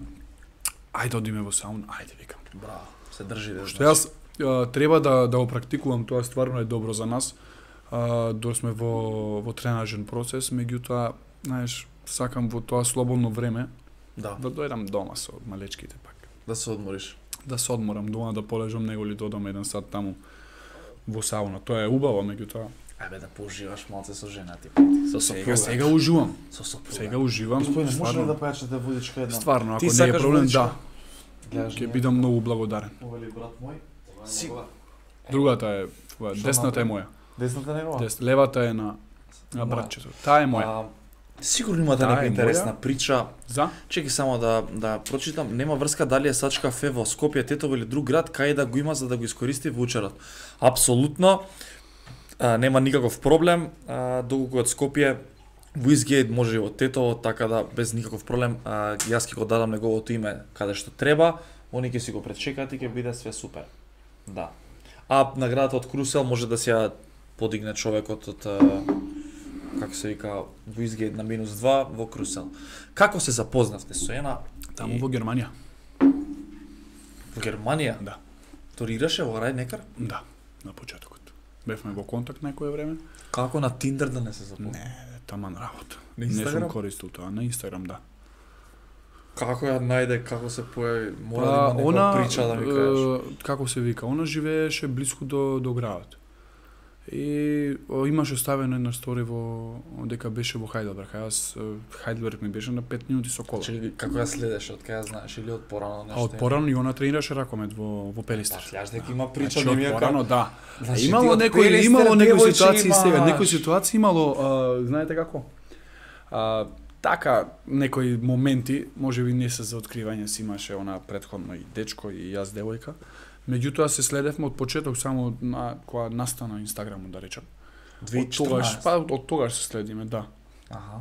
И си има сигурност, има и сме се лекнувале слики. Сега ако ќе видиме во историја имало. А, така да и после тоа ми беше моја дека дојде во во Хајделберг имаше ставено стори и јас си пишав. И Како, така, како, настапав. како старташе? Како ја стартав? Викам, ајде ќе кажам тоа, дојде во мој град, не се јавуваш. Така пише. културно па така, што а јас 5 минути, а јас 5 минути да Дојде во мој да. град, а не се јаваш. Да, и Да така знаете почнавме, како да почнавме муавет, почнавме муавет. Не, тоа старта е многу културно напишува, Ала, пишување. джентлменски. Да. И јас викам а, а, почнавме муавет. Некој баш а, денте играв утакмица јас. Па ја поканив ако сакаш да дојдеш. Не, потоа бевме во некој контакт, па се вигнав, тука доаѓа заедно почесто доаѓаше со со незините во еден македонски ресторан каде што има најдобрата храна во во Германија Аха. а, таму во Хајделберг и а, се видовме неколку пати, потоа а, се дружевме, излагавме и така.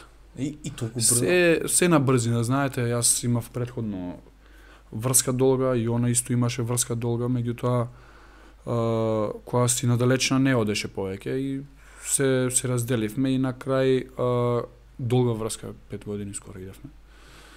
И на крај, знаете, кога ќе се склопи нешто наеднаш, тоа што го кажав, нешто спонтано, кога е многу поубаво и стварно така беше. Размислувањата ни се споја, целите и незините и моите се споја. Сепак она, она е поголема жртва, неголи јас, она мора да ме прати да ги да биде покрај децата, меѓутоа гледам на секој начин, пардон, на секој начин тоа да му го возвратам да да да и помогнам за тоа што она сака да направи, пример додвои време да вежба, додвои време доди да да вози ролер или пример да излези да да прошета да си купи нешто. Стварно гледам да сум многу коректен од таа страна, пошто стварно е голема жртва за, за мене. И така се споевме наеднаш, ни се спојат патиштата, а, поживеавме така а, некој период заедно, да речам се договоривме и за деца и она го посакуваше и јас тоа и јас истото. Секогаш ми било желба да да бидам млад татко и тоа ми се оствари. За свадбата кажи ми што обичаи имавте, ме интересира. И како ја побара, чекај се, јас знаеш, сте видел, Знаете како ја се возевме, вака. Се возевме, а, ја носе за дома, се сретнавме, дојдоа нејзините тука во близина во, во ресторанот и отидов. Јас викам, ајде да се видиме, ајде. И јас зедов од кај нив, од нејзините, и викам, јас се земам на моја одговорност, ќе ја вратам дома. И Културен бевме, дечко. и бевме, а, а мајка исто, бивша ракометарка и мене ме познава. И они беа на, на надпреварување, ме гледаат на, на сите скоро доаѓаат и сега што имаше еден инцидент во Полска, што имаше тепачка меѓу родителите, Не сум видел. па сега на нова првенство. Тоа Да. беше мојата баба и сопругот на, на бабата, каде што застана во одбрана на моја. првенството? Да, да, сега на првенството. Небитно. И Чекај, таа е долга, при, долга приказна и таа, небитно. Ќе те вратам. Ајде, ќе ќе се што ќе се вратиме. глупости живи. Македонска работа да речем. Чекај, стој, мора. Небитно, може ќе замерат некој на мајката на на мојата сопруга Добро. и сопругот неизин беа исто на на на на трибини. Они доаѓаат на сите. И поред тоа што некој те пцуел, Па претпоставам. они не е прв пат, не нема ни да биде последен пат. Јас сум ги опоменал нив да пример да да не реагираат сепак. Не не може да биде Шимон. Значи сепак те погодуваат некои работи и они а, ги опомениле на првите две утакмици и на третата утакмица исто ги опомениле истите луѓе, добро познати во јавност, функционери, бивши. Не знам дали уште е сегашен меѓутоа не, бивши се сите, блиски на, на структури на федерација. А, тоа јавно треба да знаат сите, сум разговарал со сите. И а, повторно провоцирале и дош, дојде до некој конфликт и стана тепачка. Јас ја гледам цела работа. А, Ти си доле гледа, играш и гледаш. Не, не, не, беше на полувреме. Излагаме ние од соблекувална и чекам уште да почне второ полувреме. И јас седам вака на клупа и ја гледам цела ситуација што се дешава. Не се И верува. сега ми се верува мене, јас се очекувам од од некои луѓе. И си викам во глава прво само фала ти Господе што не направивме нешто да дојди супругата со двете деца. А второто дете Марија, керкичката, тогаш имаше два месеци. И она вика да дојде, ама викам дај ладно таму во Полска. Подобро и за тебе сега си строшена се пораѓај тие работи. Седи викам и моите нема да доаѓаат. Ќе ти биде од помош не доаѓај како некое чувство да имав. И прво што го викам тоа, го викам, замисли да беше на трибини, сега се затрчував гори и се тепав јас. Излага голем срам, Да. како... Имаш медиуми дека ти се блиски? Да, Изгледа? да, излегува сите. Не Ми се јави еден куп луѓе после тоа, па да се смират страстите, па имаше, па преку покување од тие страни ќе биле тепани, па не знам што... Што да ви кажам, закани и отпуст. Ајде. од после со тие тие функционери. Сите знаат, може би гледаат, може би те пратат, да си знаат дека сите ги знам со име и презиме, ако имаат нешто нека се обратат кај мене. Така да разговарано е и ако посегнат нешто повеќе и ние имаме органи да да делуваме. Бог да мислам. И да се вратиме на темата. Да, е добај. Јас сум водителот, ти поставам прашање. господине. Е, така ни се споја сите патишта. Бевте Стапивме во вечера. брак. Бе, а, да, да, Таму браво, бевме, браво, браво. Гледаш Да те вратам. да. во- Не си Бевме на вечера, да, бевме на вечера и а, ја возам за за попат. И вика јас имав тогаш од клубот што ми дадоа автомати кола. И вика јас никогаш не сум возел автомати кола. А, добро, викам јас. Прва бензинска застанам, так. Ајде, викам. Е, ајде, викам, седнувај да водиш. Е, како не знам. Гаси, викам, пичи. И седна, вози, и се така супер и после три месеци се дешава да истиот начин така, во истиот ресторант почнавме, може би она Осети. осеќуваш, осеќаше така, меѓутоа и на тоа место кај што застанавме имаше луѓе. Кога Каде? возевме натаму. Таму во Германија покрај реката. Добро. И викам ајде проложи подолу, имаш исто така едно да се исклучиш вака и покрај реката. Баш и тука застанав. Прашав. Значи ти романтичен. Да, и јас викам, Река. Покрај река, да, и си после тоа се смеја, ќе речеше, немам одма тука у река, одма у брег. реката тука. И се смееме ден денеска за таа А, ситуација. би, така. би имал храброст да запросиш пред многу луѓе? Си размислил? Да, Да? да, и го поддржувам тој момент и геш што го направи Што и подржува, не знам што направив. Ја додека не дојде моментот. Што изгубен ли беше, аман, што да не Јас правиш знаеш дека нешто? 43 минута полувреме. Ја Се- гледам се мислиш, ти се мислиш се мислиш. заборавив. Како бе заборавив? Ја отидов да ја запросам. Ама како ти дава аплауз таму сите. Ама и пра, прати се. Та добро, оне на интервју, ама више кога се подкаст можеме да си правиме момент. 43 минута ја гледам на лапот и ми тикнал, леле треба да запросам човече. И И како одма одма ја запроси или на второ На полувреме? На полувреме? Е, па Па кога нема. немаше луѓе кои беа да да купат таму па, пиво и Е, затоа аплауз добив. Да беше на ваква са кој ќе стане да ќе кој ќе стане пак игра. кој? Ќе му речиш еве молам потпунете се на тие, сакам да Не, направам требаше ова. да им кажам тоа Дембеле, ај застани полека 5 Да, минути да така, да. запресам. Па што Требаш и да кажеш на официјалниот спикер таму да викни да Hi, кажеш. е. today I will propose my Да, girlfriend. Ја момент Дека доаѓаат од Македонија специјално за ова. Оу, фешта ќе беше бе, цел свет Ама грмеше. Зимање, зимање, зимање изјавата новинарката на Барселона. А гледаш дека дојдат и да, да се најавеше 100% го правеа тој гест. Ама го направија. Да, освари но- новинари, оти што Новинарите, ти тоа 100% да пишеше таму, Да кажем, да. ќе вратеа мајл Тоа е некој. јутуберот од Стефан. Небитно, бе, представи се како фан на Барселона заедно со со сопругата идна, меѓутоа сопруга дека сакаш тоа да го направиш, 100% ќе беше Ја гледав на привилегија. Твитер, многу се смеев тие денови. Кај што ги одбиваат. Не, за Барселона беше многу смешно два месеци пред тоа. Имаше објавено дека се укао банкрот и Аха. го издаваат нов кам за свадби. Ај. И ти викаш одам таму и одма свадба. Ниво, а? брат, тоа Твитер, ја прв пат доживав такво што доживам, на секоја секунда твит, твит, твит. Тоа. Лом, као демек ние сме платени актери за за луѓе да го промовираат настанот, пошто нас не објавија и на. Инстаграм и на Јутуб и на Инстаграм имаше Супер бе 16 си милиони прегледи. Супер си добивте популарност. Не, бе, Милина, не, бе, жив. Милина за Не тоа. е ради што. тоа, али у принцип многу Ја ја знаеш кога станав по- познат? Кога? Кога мудрија со пендрак. Озбилно, без африканција. До тогаш не те знаеа, Не знаеш ме дека- знаеја да знаеш. На- Проаѓаме случај, проаѓаме, одиме во пендрак. во игротека, не во игротека. И вика се вака они излагаат родител, мајка, татко и детенца, ние влагаме во игротека. Ти си тој што те тепа? Леле. Викам, јас сум тој што ме тепа. И како добар ли си, добар сум. Значи, на тоа Значи, кариера и толку, голови толку, и толку, све тоа. тоа. Тој што го тепа. Тука и фоловерс на. Инстаграм веќе порасна и сите Тој тие работи. латас. Те веќе те Па да, викаат. мене тој со пендрагот. Тој со пендра. А имаше сега, пошто не знам имиња, имам да, имам имиња. Што ви кажале, озбилно пиши му го името, искаша као го тепале. Чекај стварно на Google? Е, Филип. Лажеш. Чекај, баш ќе видиме. Филип Талески. Да не пишува на, на YouTube да не. Не, чекај даш. Да видиме се. Е, што ќе се прво? Полицајецот што го удри Филип Талески. Да, бе. Ти јас ти реков дека сега станав славен, не. Е, тоа е. Види, наша држава. Тука сум беа на, на сопругата родителите тука дојдени.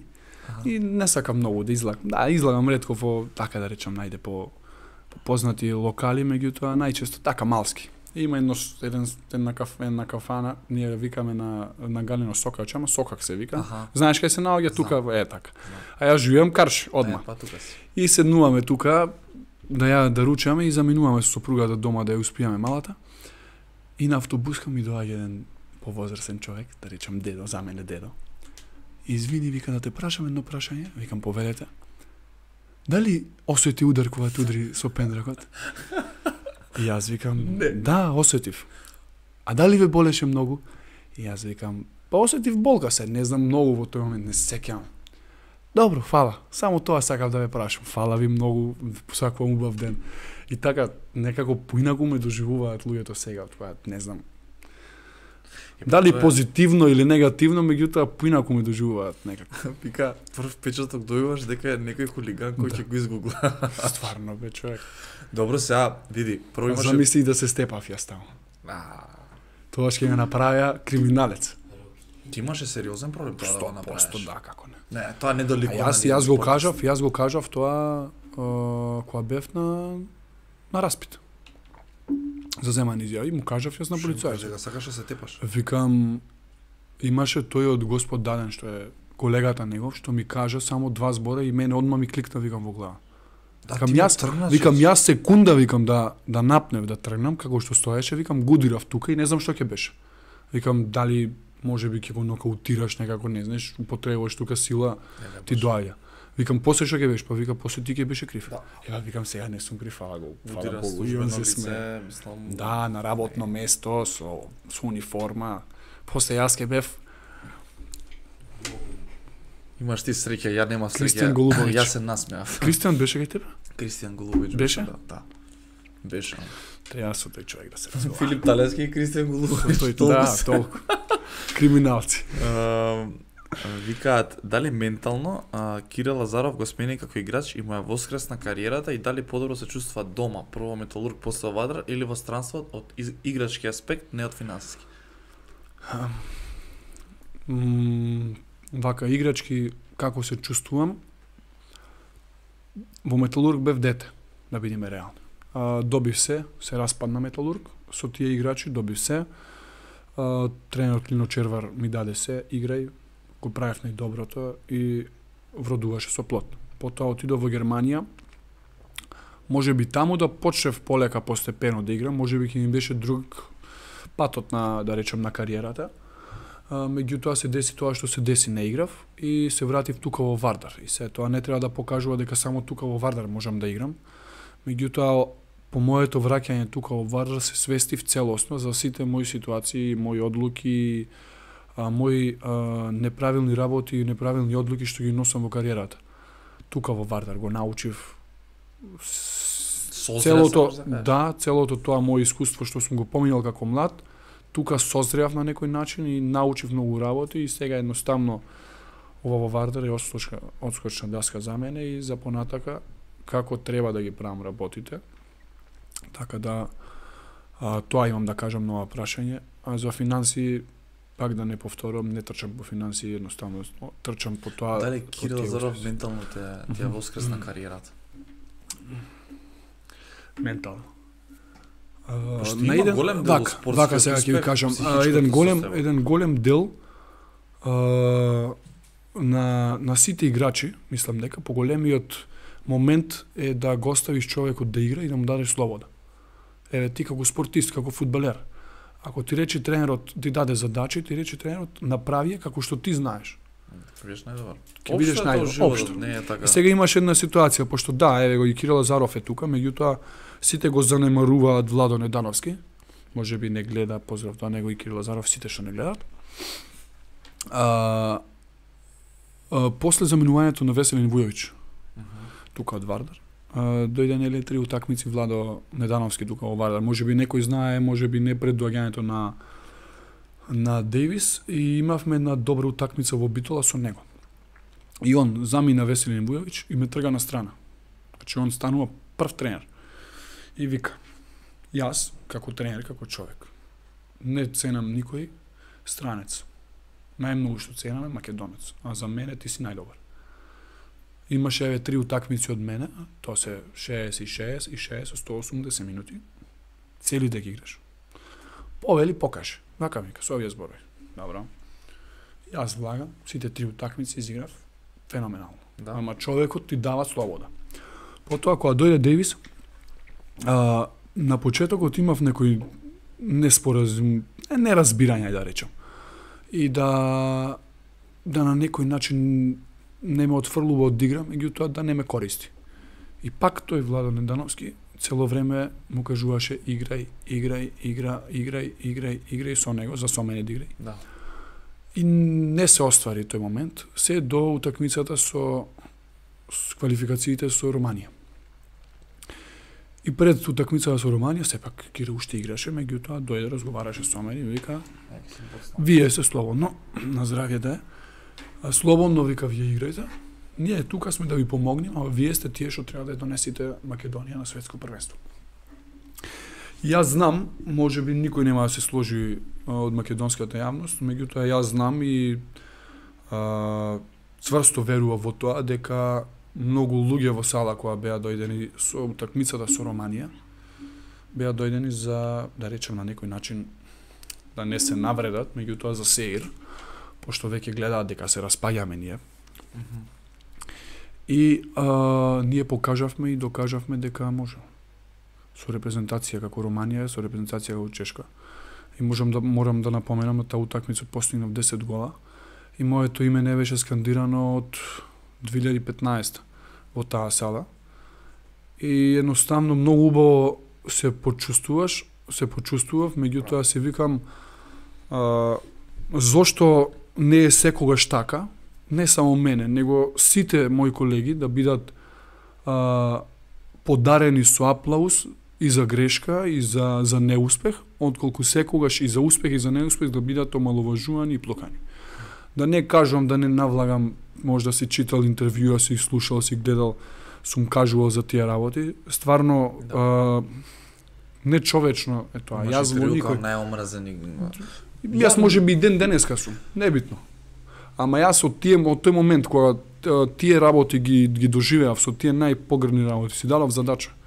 Бришам Facebook, Инстаграмот го др- го чувам пошто сепак имам и, и повеќе пријатели на на Инстаграм од бивши колеги и комуницирам. Да. Меѓутоа немам некоја да речам обсесија. Повеќе седам на телефон и играм игрички глупости, губам време, отколку да да седам на Инстаграм. Јас објавувам еднаш на 6 месеци слика Да. некој убав момент или фамилиарна слика или тие работи.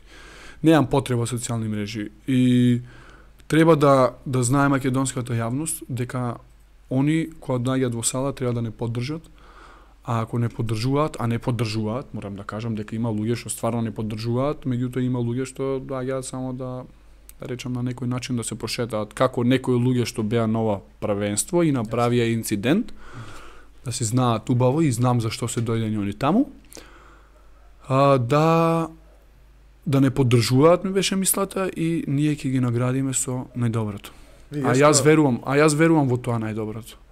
Јас кога те видов и те гледам од многу мал пратам ракометна репрезентација и те најавив на моето стори како најдобар македонски ракометар.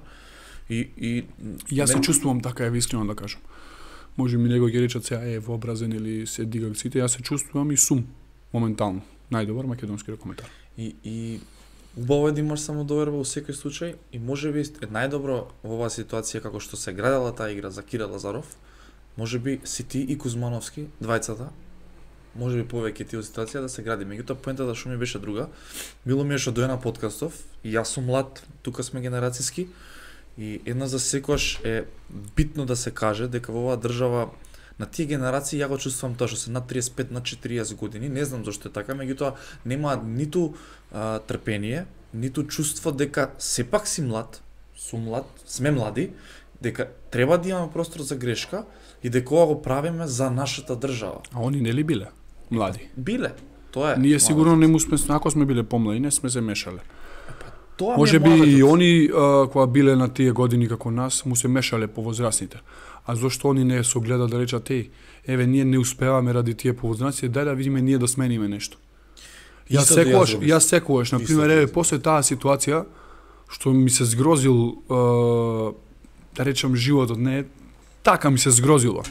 Ми стига порака од вработен во полицијата, во внатрешни работи, после ситуацијата со ударот, а, за тебе малку е и тоа што те тепаат, е, треба нешто повеќе со погребни зборови. Јас му враќам на човекот, викам, дали си ти нормален човек? Демек, а, ми пишува, јас сум антивардар. Вака ми пишува, битолчан е човекот. Не откривам име и презиме, небитно. И се јас многу културно на него му враќам. Викам, окей, во моментов не се работи Вардар Пелистер. Викам, фановите на, на Пелистер ги почитувам јас. Моите фанови Вардар ги почитувам, ги ценам, ги сакам најмногу од сега. Меѓутоа и противниците јас ги ценам. Апсолутно. Моментот е се работи за некој што го чува национ... ја чува националноста на Македонија. Ти викам како полицаец, кои се јават, викам од полиција и ти дават наредба со опремата да застаниш, викам вака да ја браниш татковината. Одиш? Одам. Е па викам и јас одам. Према тоа треба да имаш малце почит. Еј, извини, брат, се осеќам како глуп, ми вика он. А викам, јас не ти замерувам, ти кажувам за твое добро. Јас тебе те почитувам, јас не знам ти дали си добар или лош полицаец. Браво што си имал а, Јас во последно време никогаш не сум се карал, меѓутоа сега кога влагам во некој а, а, да речам конфликт, не ми е тоа да се карам, да се вреѓам. Културно му вратам, вика многу сакам да дојда да дојдеш во Битола да те запознат моите другари. Викам јас доаѓам во Битола. Јас не се плашам од никој. Он вика бе ти нас не провоцираш. А они не знаат мене како ми е кога јас ќе излезам на терен, мојата сопруга ги има брањето боите за Пелистер. Мојата сопруга битолчина, битолчанка. Татко е од Битола. Јас во Битола одам, фамилиарно сум поврзан јас со Битола. Мене не ме плукаат во Битола, сопругата ја плукаат. Децата ми ги плукаат. Јас затоа нив ги провоцирам. Јас затоа е официјално сега кажувам, јавно, ќе излези може по медиуми во било кога, јас нив ги провоцирам ради тие. Они мене кога не ме провоцираат, јас не ги провоцирам. Они дур мене ме плукат, јас ќе му враќам нив со тоа што ги боли кога ќе дадам гол да се израдувам према нив. А нив тоа ги боли, а јас го правам тоа што го правам секаде. Давам гол, се радувам. Што не треба да се радувам? Едно е да провоцираш со среќа за даден гол, друго е некој Јас да ти не, навредува жената не и е така, децата. јас никако. Имаше ситуации се јавувам кај некој а, роднини на сопругата, подкај кон страна на кумата, роднини се веќе кумови чим се. Не знам како се викаше човекот, не е ни битно, се јавувам, викам а, сериозен си тоа што пишуваш? Он ми вика, па да. Викам, не се кире, јас ке дојдам кај тебе, викам на гости. Поздравија, викам тетка ти. Нешто грешка на си. Мој по име и презиме му ја кажувам, нешто грешка на си. Не викам, ја викаат многу убава, викам надимак има, вака и вака ја викаат. Штама? Сега викам, уживај си во вечерта, ние се гледаме, викам, во битола на гости кај тебе. Што треба јас да не... Сите сме блиски, сите сме исто во Македонија. Врти се учи, толку е мал е светот, со сите ќе се најдеш. Да, да. Дај малце да си даваме позитива. Јас бев прв, освојував ево Фан Пелистер, е може да да потврди Бојан Штериов, син на газдата. Освојува Еврофарм Пелистер, ја креа титулат, јас му пишувам порака, честитки, заслужено победа, заслужено освоена титула, да ви се множат и свака част за тоа што го правите, што вложувате. Тоа е спортски да честиташ. И така треба, ние не треба да да си ги вадим очите. Така е. Вардар лани шампион, очите ни ги извадија нас од страна на Пелистер. Спортски е. Сите вложуваат, сите играат. Што сега? Бајер Минхен освои во последна секунда гол дава и освојува германска германско првенство, што треба од Борусија Дортмунд додат да ги отепаат играчите. Не, мене искрено тоа ми било чудно, еви Столе Стоилов, само почна да им се смејат и да се слика со нив. Македонци сме пред се, е. вие сте бранители на нашите бои, супер е да има А ривалство. најмногу, знаеш дека најмногу на првенствата луѓе доаѓаат од Битола и навиваат. Најмногу. Битолчани се тука. А реално битолчани се Го сакаат спортот, зошто да би тоа? да, да. Не можам да разберам. сите се почуваме клуб е клуб, репрезентација е репрезентација. Воопшто насилство во спортот не сме да има. Јас многу луѓе имам од од таа публика таму пријатели, многу. Секој ден во Битола седнуваме во ресторан, излагаме во кафич, пијаме кафе, пијаме пиво, Да. сите тие работи. И одиме на утакмица и ме вика тој. И ми вика Морам да ти кажам нешто. Кажи бе, викам братче. Денес вика ќе карам по тебе. Слободно, викам не замерувам. Идиш карај по мене. Че по мене како Филип Талески. Нема жена, Не, деца. викам со, и он знае, и он доаја вика, бе да ти ебам, ти ме процедира, ме провоцираш мене. Викам брат, тоа е дадов гол, те провоцирам. тоа е спортски, а ти Разбираш, јас и, и сите таму, ама они немаат граница. Мене најмногу ме ме револтира што имам задача за за некои а, бивши другари на мојата сопруга, бивши другари од соученици од средно училиште, што беа главни во во покревање на толпата во во Битола за тие провокации, за која е жена ми, каква е сите тие работи. лично? Лично, лично сите до денен. На свадби си имаме се среќавано. Е, поздрав до тој дечкото, така, Портокалов е, може би гледа, Портокалова брада има, не знам косата точно, не знам како се вика. Стефан ли се вика, поима, немам, нека знае. Ќе се видам јас во Битола. Он со кое лице ќе слези пред мене? Он демек ја знае поинаку сопругата од мене, цел живот се дружат заедно и се пример на некој начин не можел да ја освои мојата сопруга на тоа време, па сега ај ќе плукаме, ќе вадиме лоши маведи.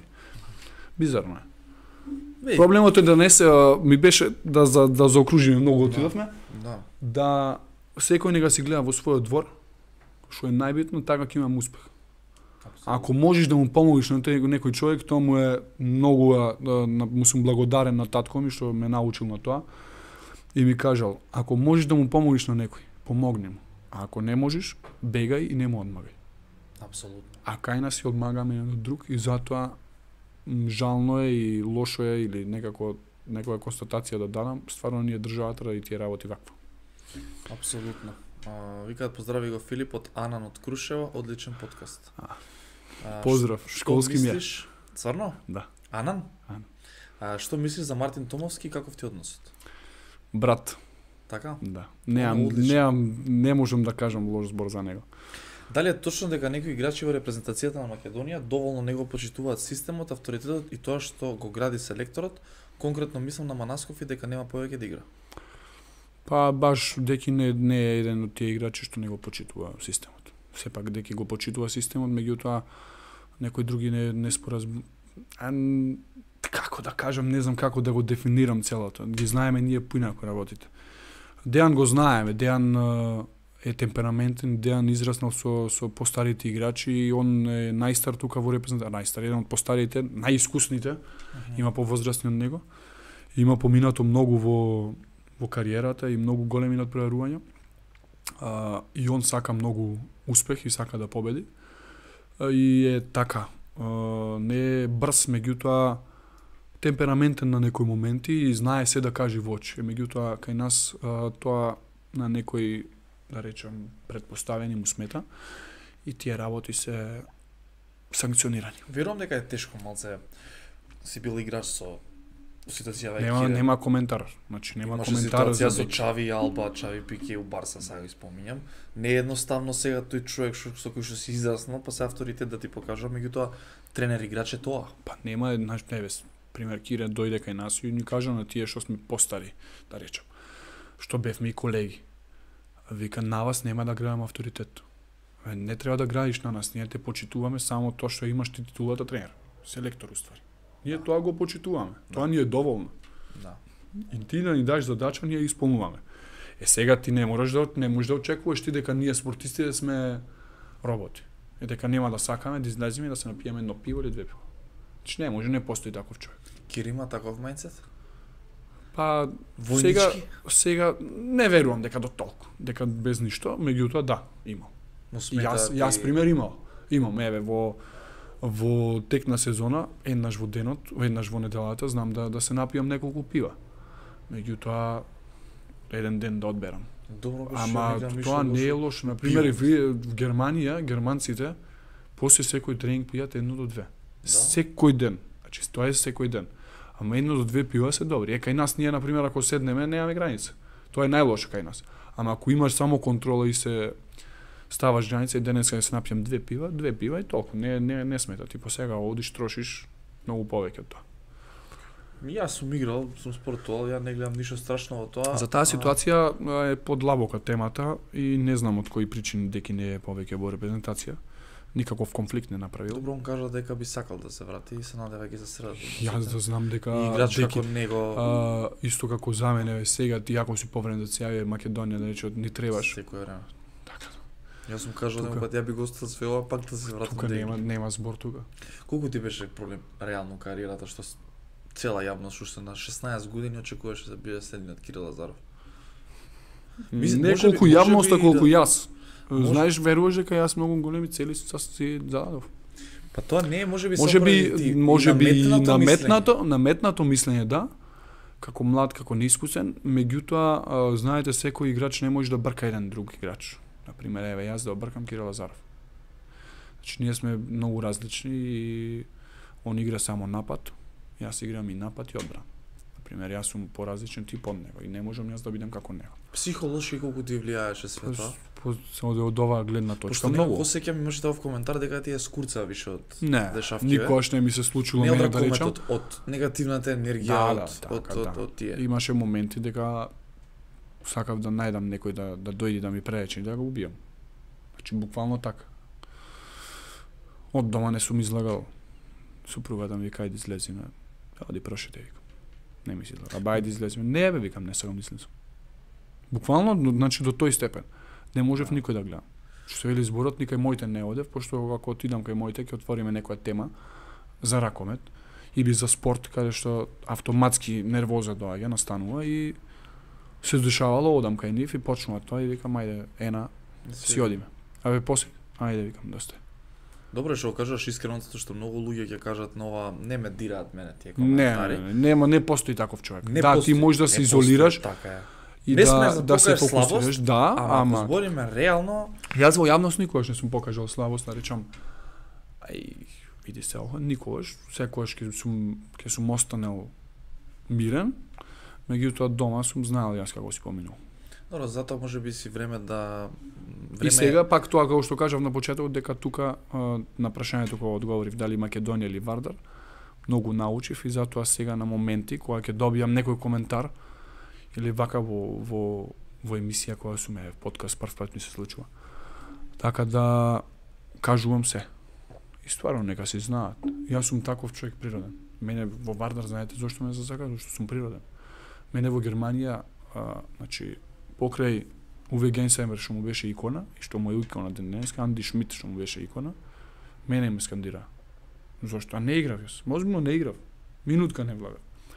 И водим една утакмица, не знам, 10 разлика со Хановере, 45-та минута и цела сала, полна трибина, полна цела.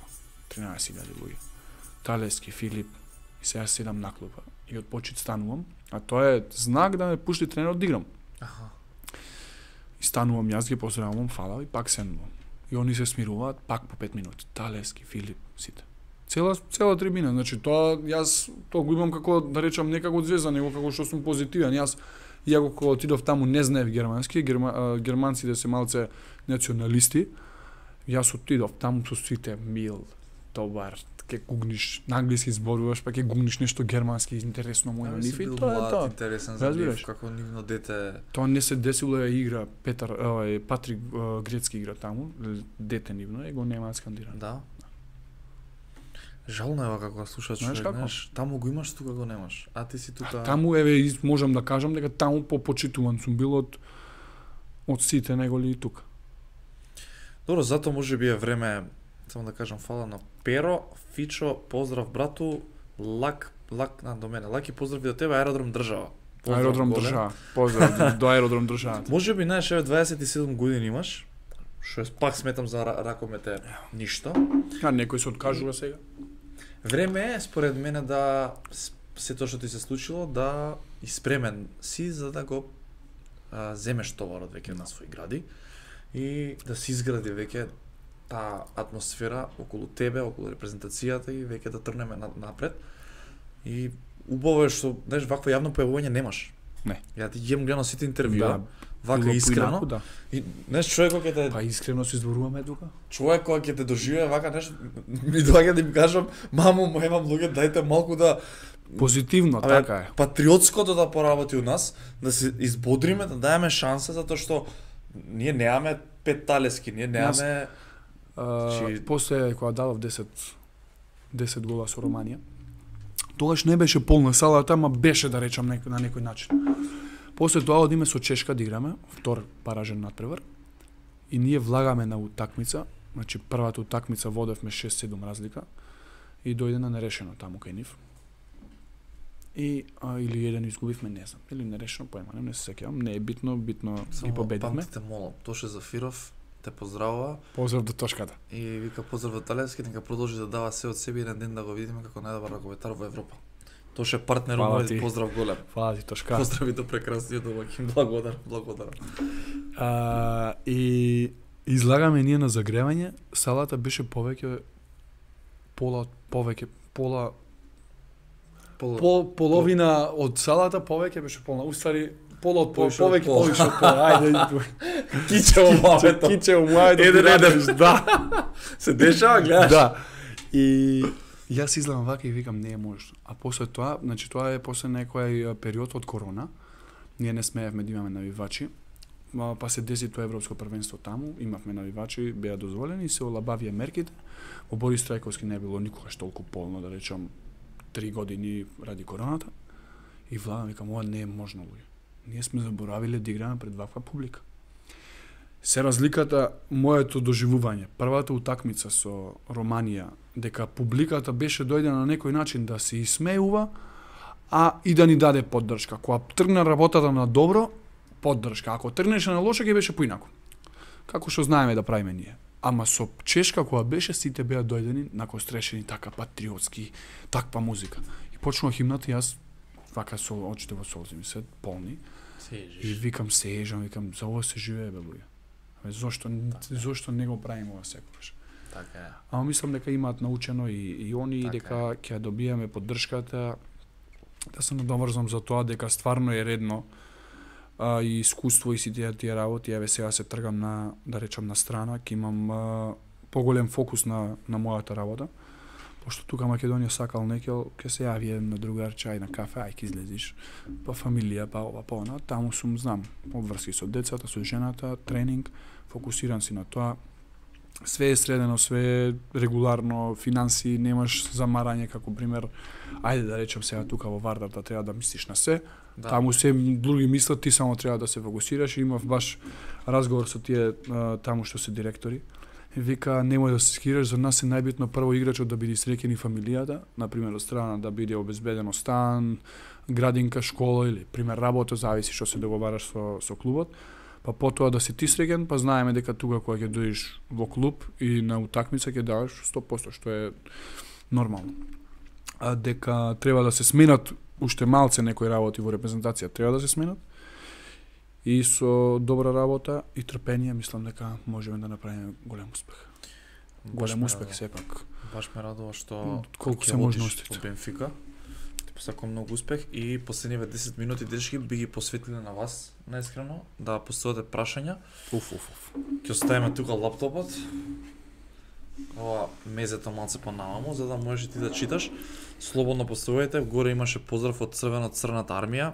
Поздрав до црвеното, црна, до црвена црна армија и најдобрите наивачи. Да, и да видиме сега некои да ги прочитаме кои што до сега не ги одговоривме, односно не ги промабитивме. Имаше Читај слободно што сакаш ќе одговарам брач. а, Не се плашам од било кое прашање. чкимбар или комити. Комити нормално. Така. Едни и единствени. А, дали имаше понуда за продолжување во Вардар? А, имаше муавет, меѓутоа неофицијално со околу финансии тие работи. Така. Меѓутоа јас бев одлучен дека треба да одам и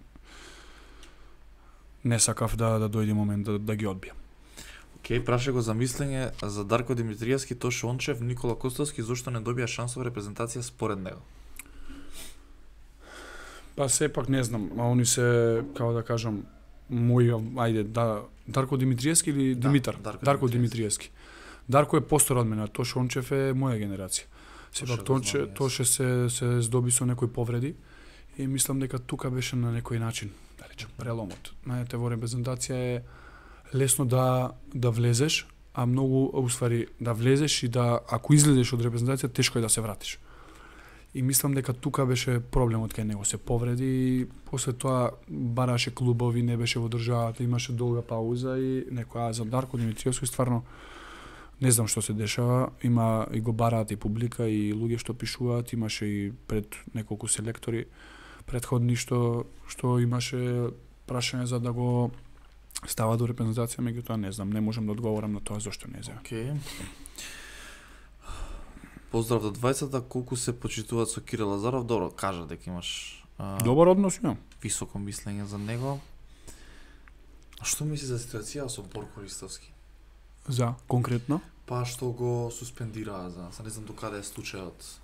За... Тоа што кажавме, политика, Политика, и спорт а? не иде. Или е спорт или е политика, не може не го ставам Борко тука како политика и спорт. Значи Борко е, можам да кажам дека стварно многу помага во Вардар. И од наоѓање на спонзори и сите тие работи. И стварно човекот на 40 години еве го. Гледам и ќе застани на гол и ќе донесе ќе некој придонес за а, во играта. Меѓутоа како да кажам од нивните таму од нивната страна како се препекува, што се препекуваат, не сме да трпи спортот покрај политиката. Ја го поддржувам. А и мене мене не ми е јасно, на пример, еве зошто е таа суспензија. Што значење Он има? има лично мислење за тој, нема он... Небитно, ама еве и да и да има за како организација, еве го суспендира, пример. Што е, Борко нема да настапува на Олимпијада? Стварно не не разбирам, не дека го бранам јас, не не разбирам целта од суспензијата, која е суспензијата, така е. е. Едноставно нека одат на суд, нека се клеветат и нека се тужат за тоа е тоа. нивна приватна работа. Приватна работа, дека приватно бил навреден, увреден и тоа е тоа. Да. Нарушување на углед. А, едно прашање, дали работиш на подобрување на физичката спремност, поточно за стварање мускулна маса, тоа е што ти фали секоја чест тале. Конкретно, Па оваа година доста сум многу, па да, сум. Се гледа, да, мислам, и а, најчесто во, во сезона не можеш тоа да го правиш. Значи ние не сме како да речеме еве го Тоше пошто не поздрави како бодибилдерите, исто Да. и они. Да. Кога ќе дојдат пред направување, колку што имам јас познавање, они одат на на оформување, на оформување, не на на полнење. А ние не можеме да одиме на оформување, ние одиме на полнење само во припремниот период, а во целата сезона само се одржуваме. Е се некогаш ќе имаш време да направиш една две теретани во во текот на неделата за преднатпревар, а некогаш се дешава една, некогаш па кич имаш патување ти работи. Така да ние све што да правиме, пратиш толку храна во тој период такви тренинзи. не, ние храна си си пратиме и си водиме режим свој, меѓутоа знаеш како кога одиш на патувања, губиш еден ден, два дена, не, нездраво се храниш, не можеш да јадиш на, на аеродром, седиш 7 сати што ќе јадиш, хот дог. Да, да, да. Или ќе одиш ќе јадиш нешто, е кај на аеродром. Тоа ти у билдерскиот дома такви ќе се земете. А добро еден оброк, а 7 сати ако седиш, Три ќе. Све има Кај ги носам? Значи ќе си купиш од да не правам реклами. Ја, Да. Значи види, јас сум го правил тоа. Ако сакаш решение се наоѓа, се Ама добро, јас нема, јас кај што се ставаат три. Јас на пример, јас знаеш како сум Е. како спортист сум. Јас пазам секогаш низ храната, ама ако ќе ми сака душа да јадам хот дог или бургер, одам и јадам. А не некој му се јади и благо, сега тука да извадиш едно кило милка, ми се јади, ќе изедам цела и немам гај. Не ти шкоди после тоа. Ништо. Немам гај, Ма имам добро, ти имаш и таква генетика, има генетика, брз метаболизам имам се. На столе, се смеевме, се не, на пример се смеевме сега. Од кога сме завршени, така почесто не да пијаме, да се правиме, да се опијаниме, меѓутоа знаеш да седнеш да се напиеш пиво. И се некој на пример 10 дена ќе пија пиво секој ден по 5-6 пива. Него му се лепи, јас да пијам секој ден 5-6 пива, Ништо. мене ништо не е. Ќе појдам другиот ден или еднаш во еднаш во во 5 дена кистрчам. Ја бе, Како нов. таквите го тебе. Значи вие сте од Господ како да- видал, видал Што ни дал? дар. Да, и одам во теретана. Можеш дојде да ќе дојде ќе дојде некој Е, и да. јас дигам 100 кила, тој дига 60 кила и он станува од бенч клуба пример, толка во граите јас Е, Јас сум тако. ништо. Ама јас сум тако. Ја, ја качувам од моторетана. Ништо. Али за си минјање. се убивам, ако брат, ми веруваш, знаеш какви колку тежини кремам. Се Колку убивам. дигаш бенч? Па сега не сум дигал Рекорд. многу, 140. Нема шанси. И поиш, јас 130 ками. 140 еднаш. Ја го повредив рамата и после тоа проблем. Имав колега можам што од од бенч му падна работа. Да. Бенч е... И среќа во Германија беше да се така правиме муавет дека не е све во парите, меѓутоа во Германија си осигуран, си плаќаш приватно осигурање и си добиваш а, зависи од договор, зависи од повредата, зависи како ќе докторат. Не, тоа си од клубот, рехабилитација се, пошто се, се дешава во, сала и на тренинг од клубот. И тоа приватно обезбеду, по осигурување тебе те покрива и ти одредува парична сума и тој човек си зема еднократно 100.000 евра. За паднато рамо. Да. Си ги паднеме двете. Ама тоа тоа осигурање кај нас го немаш брат. кај нас, а он, ама он, он еднаш левото, он е десничар, еднаш левото зема 100.000 евра, после извесен период, не знам, 5-6 години, десно да го повредува, исто 100.000 евра. Така да сакам да кажам дека мора да знаеме. Дава така. Не знам брат. Сега не сум бил во Португалија, не знам. Треба да, да разговарам сега, а, сега Митревски се враќа од од Португалија, да, и треба да седнам со него да да направиме муабе, да ме каже малце да ме спреми пошто и он има играно во Бенфика. И да да ме научи на нешто. Вика, дај кола, нека ме мавне. не, шала на страна, сега се зезаме пари да, меѓутоа тоа може Да, кариера да, кариера. заврши. Па јасно он но, он не може да шутира. Он не може да шутира. Сега Погото он тебе, шутер, Да, да, јасно. десното рамо ти отиде ли така, прости се брато и Една операција не е исто. после. 100.000 евра Налет пари, со инфлацијава Вредат како можеш да 10.000 евра. Кај нас? не можеш. Јас пред 5 години го земав Колку квадрат? а, 900 евра. Имав среќа, да, имав среќа. Да. Ти си богат Имав среќа брат, а, а, Војко ми има фирма приватна, работи сто, столарија, прозори и врати и вика бе банките што луѓе, значи на некоја несреќа пример, на некое лошо што Некој му се десило човек, му го земала банката И вика мајка ми пошто јас не бев тука, викам оди права, праши. Ми кажува мене, она викам оди праша и наоѓа станот. Вика 900 евра, евра кадар. Топ. Пали. Пакувај. Пали вика. Сега ти 1300 таму. Сега 1500 лаганица. Да. Така, спремен да го правиш, можеш да земеш. Ајде да не лакувам 1400, да не е 1500, 1400 Да, земаш тоа. локација Тука кај нас во кај последна петка во тие зградите сега 1300 1400 дена становите. Јас фатив моја, па мојав е пред припор. Десно, локација 1150 у градба, таму кога ќе се изгради 1300 фикс. Пред колку? Време. Две години, три. Не, едно. Една, амо дека у Колку беше пред една година? Пред една. пред една. А, мислење за Европското првенство што следи. Па не треба да мислиме. Они нека му мислат. Така се вика тоа. Реално што да кажам, Ама каква стварно. група имате реално? Еве се што да кажам на тоа. Данска? Не. Не. А, Норвешка? Нор, не. Франција полека. Франција, Германија и Швајцарија. Добро, Норвешка и Данска беа На пример, јачината на отвараме, отвараме со Франција, олимписки, светски, европски шампион. Небитно. Значи не треба тоа нас да не плаши. А, сакам да му го кажав ова на селекторот, меѓутоа еве нека слушне и македонската јавност. Треба да да одиме да уживаме. Имаме прв пат во животот, ние прилика да играме пред не знам, 40.000 публика, мислам дека играме на стадион отварање со Франција. Значи треба да одиме да уживаме М. да се надпреварување, а да уживаме. Ако го одиш уживаш тоа што го работиш, го правиш со радост, со среќа, со со чиста мисла, мислам дека може да се направи нешто. И они се луѓе од крв и месо и ние сме исто така да може би они се, да речам, понапредни на нек, во некои сегменти од нас, меѓутоа тука една утакмица се може да се деси. Реалноста е таква, меѓутоа. А имаме јака, имаме јака група. А мислам дека не треба да се преголеми очекувањата од македонската јавност, и сами треба да сме свесни и треба а, ние сме луди, пример јас сум луд, јас секое прво секое првенство кога одам, јас викам ние ќе завршиме први во група, ќе одиме до финале. Секое првенство. И тоа може би ми е некоја грешка, после првенство јас се разочарувам. Еве, јавно да знаат сите. Се разочарувам. Си викам, кај изгрешив јас, кај изгрешивме ние, зошто не можеме да направиме ништо? Се собираме на 20 декември, 10 дена одиме на припреми, се убиваме, си ебаваме мајката, од тренирање, од трчање, од скокање, од се.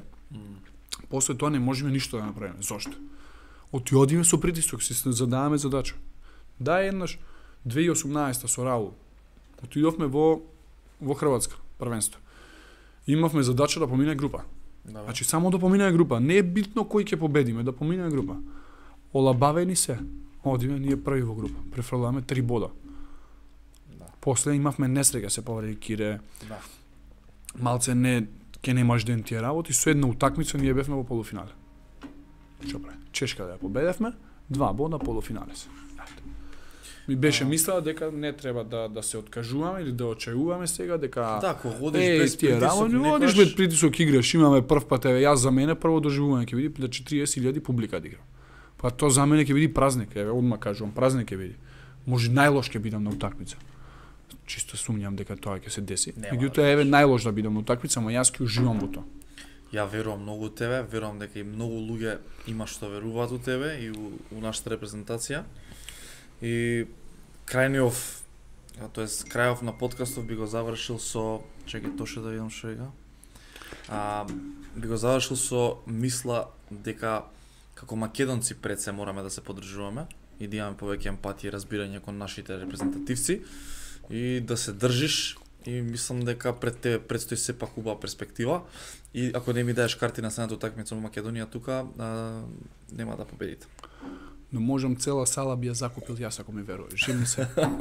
јас не сакам да да му земам на, на сите досега што ми се имаат јајано, никој немам одбиено, стварно. Се дешавало и да немаме карти, јас се најавувам унапред, купувам карти и ги давам. Така? Никогаш на никој не сум зел пари, не ни сакам да земам пари. Мене ми е чест и задоволство да ако еве ти да би се јавиш, да те угостам. Да, Ти да ми се јавиш сега еве е брат што правиш? Абе ме, ме носи патот на кај Португалија на кај Лисабон. Со задоволство дома ќе те примам, озбилно ти кажувам. Еве има еве Томовски знае најдобро, пошто со него сум близок многу. Кога дојде Германија беше во врске бидам. Беше во Лудвисхафен, да. Немаме ние. Немаме лимит. А во Сашке терен уште пола ние. дојде во во во Германија на 25-30 километри од градов. Тоа беше во Манхаим, малце по надворешниот дел, а јас бев во Хајделберг. И по автопат возиш негде околу 30 на километри, ама така 20 минути. Вожна 30 некваш ако има гушва. И он доаѓа таму и викам братче слушај се, да се бидиш како дома тука кај мене. Денес како имаш тренинг, ќе ми се јавиш, викам ти од вечерта, рече ми имам тренинг утре, бе може ли ручек, не знам, графче? Јас викам не е никаков проблем, само кажеш ден унапред, за да зееме да купиме од маркет и доаѓаш, викам зготвено се си ручеш како дома, како мајка ти те готви. И ена викам може ли? Нема никаков проблем. Ние со дете мало се. И он доаѓаше после тренинг, се дешаваше, иди после тренинг. Си ручаме се, после тоа што сакаш за вечерот, тоа он што јади, ние се договараме, вие што сакате, се договараме нормално. Вечераме, викам ај не вози вечер, преспи. Преспива, се бајле си станува, си оди до дома, си зема опрема и си приложи на тренинг. Значи, како Си брат да си го имам, ка не, како брат да го имам. И то не само да речам еднаш, него Боти бев тогаш се погоди месец дена бев таму. После отидов за, Бал, за Балинген. И првите 6 месеци дојде два-три пати до, до кај нас да го возам на аеродром у Штутгарт. Дојде преспа кај нас, преспива и са бајле ја станувам, го носам. И фати корона. И сега ние сам и он сам, тука беше Жарко Пеше, со уште едно другарче. И викам, слушајте, имам убавата раса кај нас, убаво е времето, палете колете, доаѓаш во петок, си одиш недела или понеделник, кога сакате. Мене викам, мене викам, не ми сметате. Долу под мене газдите хрвати, сите собрани, пијаме пиво, правиме скара, цел ден во дворот му седиме на газдите и они со нас се зафркаваат, пензионери, они уживаме. Ајде, заминуваат во понеделникот, во четврток, брат да повториме, одма идете, викам, не прашувате, одма идете. Таков сум, Значи, така така да, се дружелюбив да, си така сакаш да, слободно да да дојдеш во еве да ту гостима го сакаш со Сакам, сопругата Ќе дојдам. на меден месец ако немате нешто испланирано, пример да поминете Неам Да, уште. Добро ти и тоа ќе ми испланираш вечерва, сопруга ме А, договори за меден 20 месец, да, обавезно, ако не, оди, ако Дај не те, ако не те однеси, размисли. Значи, Ја, да. да имаш уште колку Ај имаш дали ќе се 15? сложиш са јавно со мене? Јас си викам вака, значи ние правиме свадба у јули. Ја ја викам. У јуни? Јули. Ос, Јули. 8 јули. ми е 8 јули, добро. Да. И ја ја викам, дај ќе си кидам Грчка одмак после свадбата, 4-5 дена со лаба. И Грчка меден месец, ја. Не, не, не, не, добро. Чисто онака после свадбата, знаеш ќе се начукаш, да да се отрезнеш 4 дена на море. И после викам, пошто сакам да си снимам подкастов и да терам и август и да отидеме тургада вамо таму, а во Бе, јануар нели гледаш што се дешава таму? видео се кулија. Па што идеш таму? Абе така беше и длани кога бев, па не, тоа се се деси според става. Ми ако Тоа бидеш, може стоја бе ако бидеш ти таму, не дај го с скраја. Нема После да во е- Португалија јебика. Де се Нема се деси. Да. Ја и викам, дидеме август на тако место и сега ќе дое јануар, кога се сите, ја највише го мразам јануари, сите мртви, пијани, вамо. Палиш Тогаш. Занзибар, Малдиви, Малдиви. Бали, Е, Дижелба ми е Малдиви да отидам во зима. Ама, секоја сум на е, европско среќа- и светско. Тоа е. И сега се на лето не се оди за Малдиви. Не, се оди убаво. Се оди, убаво, ама не е тоа филинг така. Е, Се на ти пример ти слигаш, јас сум на Малдиви, ти слигаш Мавро со наочари и со јакна, јас ти пуштам со купачи, така ме Па разбираш. сега. Ама А, а некој не, јануар дрема дома пијани, ја да сидам и сега ја викам, меден месец ќе направиме у јануар. Е, дали ќе ме подржиш сега тука 100% ќе го гледам. Не. Зашто бе, брат? Така бе, брат. Подржиш ме. Ние свадбата не бевме на еден месец, меѓу Значи, свадбата, да после свадба на одмор си отидовме самите, да. Ја работам, ја подкаст, ја. Се трудам брат, за чека да те прашам нешто, земи си го микрофончето. На меден идеш на меден месец таму, кај да идеш, не знам, викни некој брат. Ела ваму. Комхир. Е, така, седи тука, вика, јас снимам подкаст. И они вика, добре, јас што требам, па збори само. И ќе збори, ти ќе поставуваш прашање, он ќе збори и ќе снимите нешто, значи никој што не снимил. Например, го спомнавме пред емисија и Јоги Амиджич нема снимено ништо такво, ме разбираш. Одиш ти со... Ја имам друга идеја за лето, нема. Да и ти иско, види, ќе искористи другарчето. А, и со нас. И Значи на меден Не, не, ама не вие различно, не различно вие. Он на друго место негде. Аха. Он на друго место и му се јавуваш, братче, спремај. Ќе опуштиме Малдиви позади тоа куќи. Кај бањите. Вие треба да одите кај куќите, бе, брат. Таму кај кулите. Не, не. Кај кулите да си и галите. Не се давам со тебе, не се слагам. Кај бевте Да. вие на меден месец? Не бе федема и месец, кај на меден месец да бидам без фрли 7 мене сега. 7 дена. Ако не те однеси на меден месец, Значи, значи, размисли до 8. Ракометар, репрезентативец, трансфер има на меден месец не те однел. Меден месец тоа значи месец дена треба да бидеш. Не бе, ама кај добро кај сте 7 дена? Тасос бев. 10, 10. Брат, убав ресорт, жени. Абе све супер, ама сега девојчето заслужува да го однесеш некаде. Еве, сега пред Абе до трансферот. 40 години ќе ќе Абе, ќе рмбам, знаеш како тве- слушај ме, ќе рмбам, ќе рмбам, ќе рмбам. И после тоа. Децата на 40 години ќе имаат едната 18, другата 14 години. Сами. имаш тогаш. Проблеми да имам тогаш. Ќе видиш. Ќе имам, ќе пуштам, ќе некој што ќе прати таму, што ќе гледа. Пример. Сега може може веќе си ја легна, чекај. Охо, легна да е сигурно. Викаш? А може и ме чека. Може и гледа. Не го да ти кажам, уште од сега што ќе ти растат киркичките, Ќе ја ти на ќе пуштам 45 ќе го седиш некој. филмот. Да, више, со да знаеш. 45 ќе уживам со со жената. Да, Сами. Сами. Малдиви. Пример земаш така што си правиме филм, земаш кабрио си сеташ цела Италија. А, тоа? Е, Пример. ние тоа го збориме сега. Милина или земаш, не знам, ние имаме желба сега со децата, ама на пример земаш се качуваш на некој голем крузер. Може. Одиш до Америка, Може. па таму низ Америка прошетуваш по градовите, пример. Може. Или до Јужна Америка, не знам, Бразил, Масија. Е, па ние збориме тоа сега дали да направиме една тура Италија, Шпанија, Е, Франција. пример, ако ти е 15 како дена. меден ме- месец, е Тоа- тоа, тоа го е, зборев. тоа, брат, милина, жими се. Е, тоа не мора за нова година, значи некогаш. На пролет е многу побаво, пошто расцветано се, меѓутоа, крај на август. крај на август би било супер, не е ни многу жешко, милина, брат. Е, е, од мене, А види вака у животот кога више можеш си при заработаш. Август и таму, ја нормал диви. Ма не можам јас, брат. А за ти? А за ти, брат, ако можеш, е, уживај тоа, што. Не можеш да Што ти кажам? Јас многу сакам, ама. А дора немаш пауза од европското кога ќе заврши па Колку? Пет дена. толку се. Треба ли да одморам во тие пет дена малце? Одмори на Малдиви. Брат, дури да отидеш ќе треба да се вратиш. Е така е. Дури се со, дури се облечиш во купачи. Ќе еј, Пуст чекај, си ти, чекај, додека да се да, спустиш, чекај да ги да извадам купачите, да се облечам по тренинги за да се вратам во сала. Баш ми е жал што ти е така. А тој колега што имав еден Анди Шмидт, а он за Швајцарија играше и на тие големи натпреварувања сега почесто се квалификуваат, меѓутоа претходно не. И ние одиме на првенство, и он пушта слики. Не знам за вас, јас уживам од на Малдиви. Е, викам, секоја сум го пцујал. Викам, Значи- види го овој бе. А ти а, сите првенства си имате квалификувано од кога? Сите. Немаш пауза Јас ни сум една зима? 2015 тука. Во репрезентација. Стеки 2 до 2 долари, поздрави го Миркуловски, зет ми е. Поздрав до Филип Миркуловски, именјакот мој. А, фала ти што дое денес. Ја мислам нека топ поминавме и фала ти што беше искрен многу. Топ подкаст. Ја верувам дека вие сте многу задоволни. Фала ти што пробават сач кафе. Се надам дека беше убаво. ќе одам и да таму ќе ќе се угостам. Можете да направиме дабл дейт. Може. Ако уште сте млади од душите. Тоа може и да Има биде и коктели таму, Слушај, партали. може да биде тоа и, и лошо. Зошто? За тебе, не За за, мене? мене, за тебе, брат. Чекај тазе ќе ледиш кој почни сопругата моја да кажува јас му викам, а, те молам оди успија Софија, он оди цртани му пушта ќе речи. Ау, ау. Може да, да натера да, се- да ми почне не да, ми- речи, да ми да збори не дете речи, да да не направи. речи, не, не, да не речи на осми «Е, Не сум јас за ова. Нема да видиш да како исплаши, е, нема да видиш како е. Не, може во секој. Нема опција да каже не. Ќе го Мора јаде. имаат, мора имаат опции. Сите имаме опции во животот, меѓутоа Така. најдоброто си го бираме сами. Да ти се заблагодарам во оваа прилика за поканата, уживав стварно. Алал да ти е за, за тоа што го правиш и што имаш од различни сфери тука луѓе. Сум гледал имаш и од луѓето што што возат што возат што водат бизниси за Да.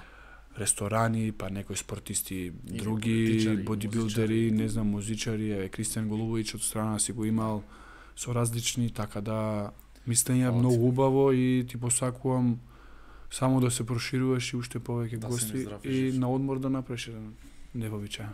Да си ми здрав и жив. Фала ти уште што беше тука. А, дечки, фала ви на вас што бевте со нас. Се надевам дека ви го задржавме вниманието. Би ве замолил еден лайк да ставите и subscribe. Уште 19.000 од прилика 18.500 до 100.000. Вие што го гледате подкастот по моментот што е сега во живо. Исто така би ве замолил да ставите на лайк и subscribe, да го поддржите Талески исто и мене и ние секако се гледаме во следен подкаст.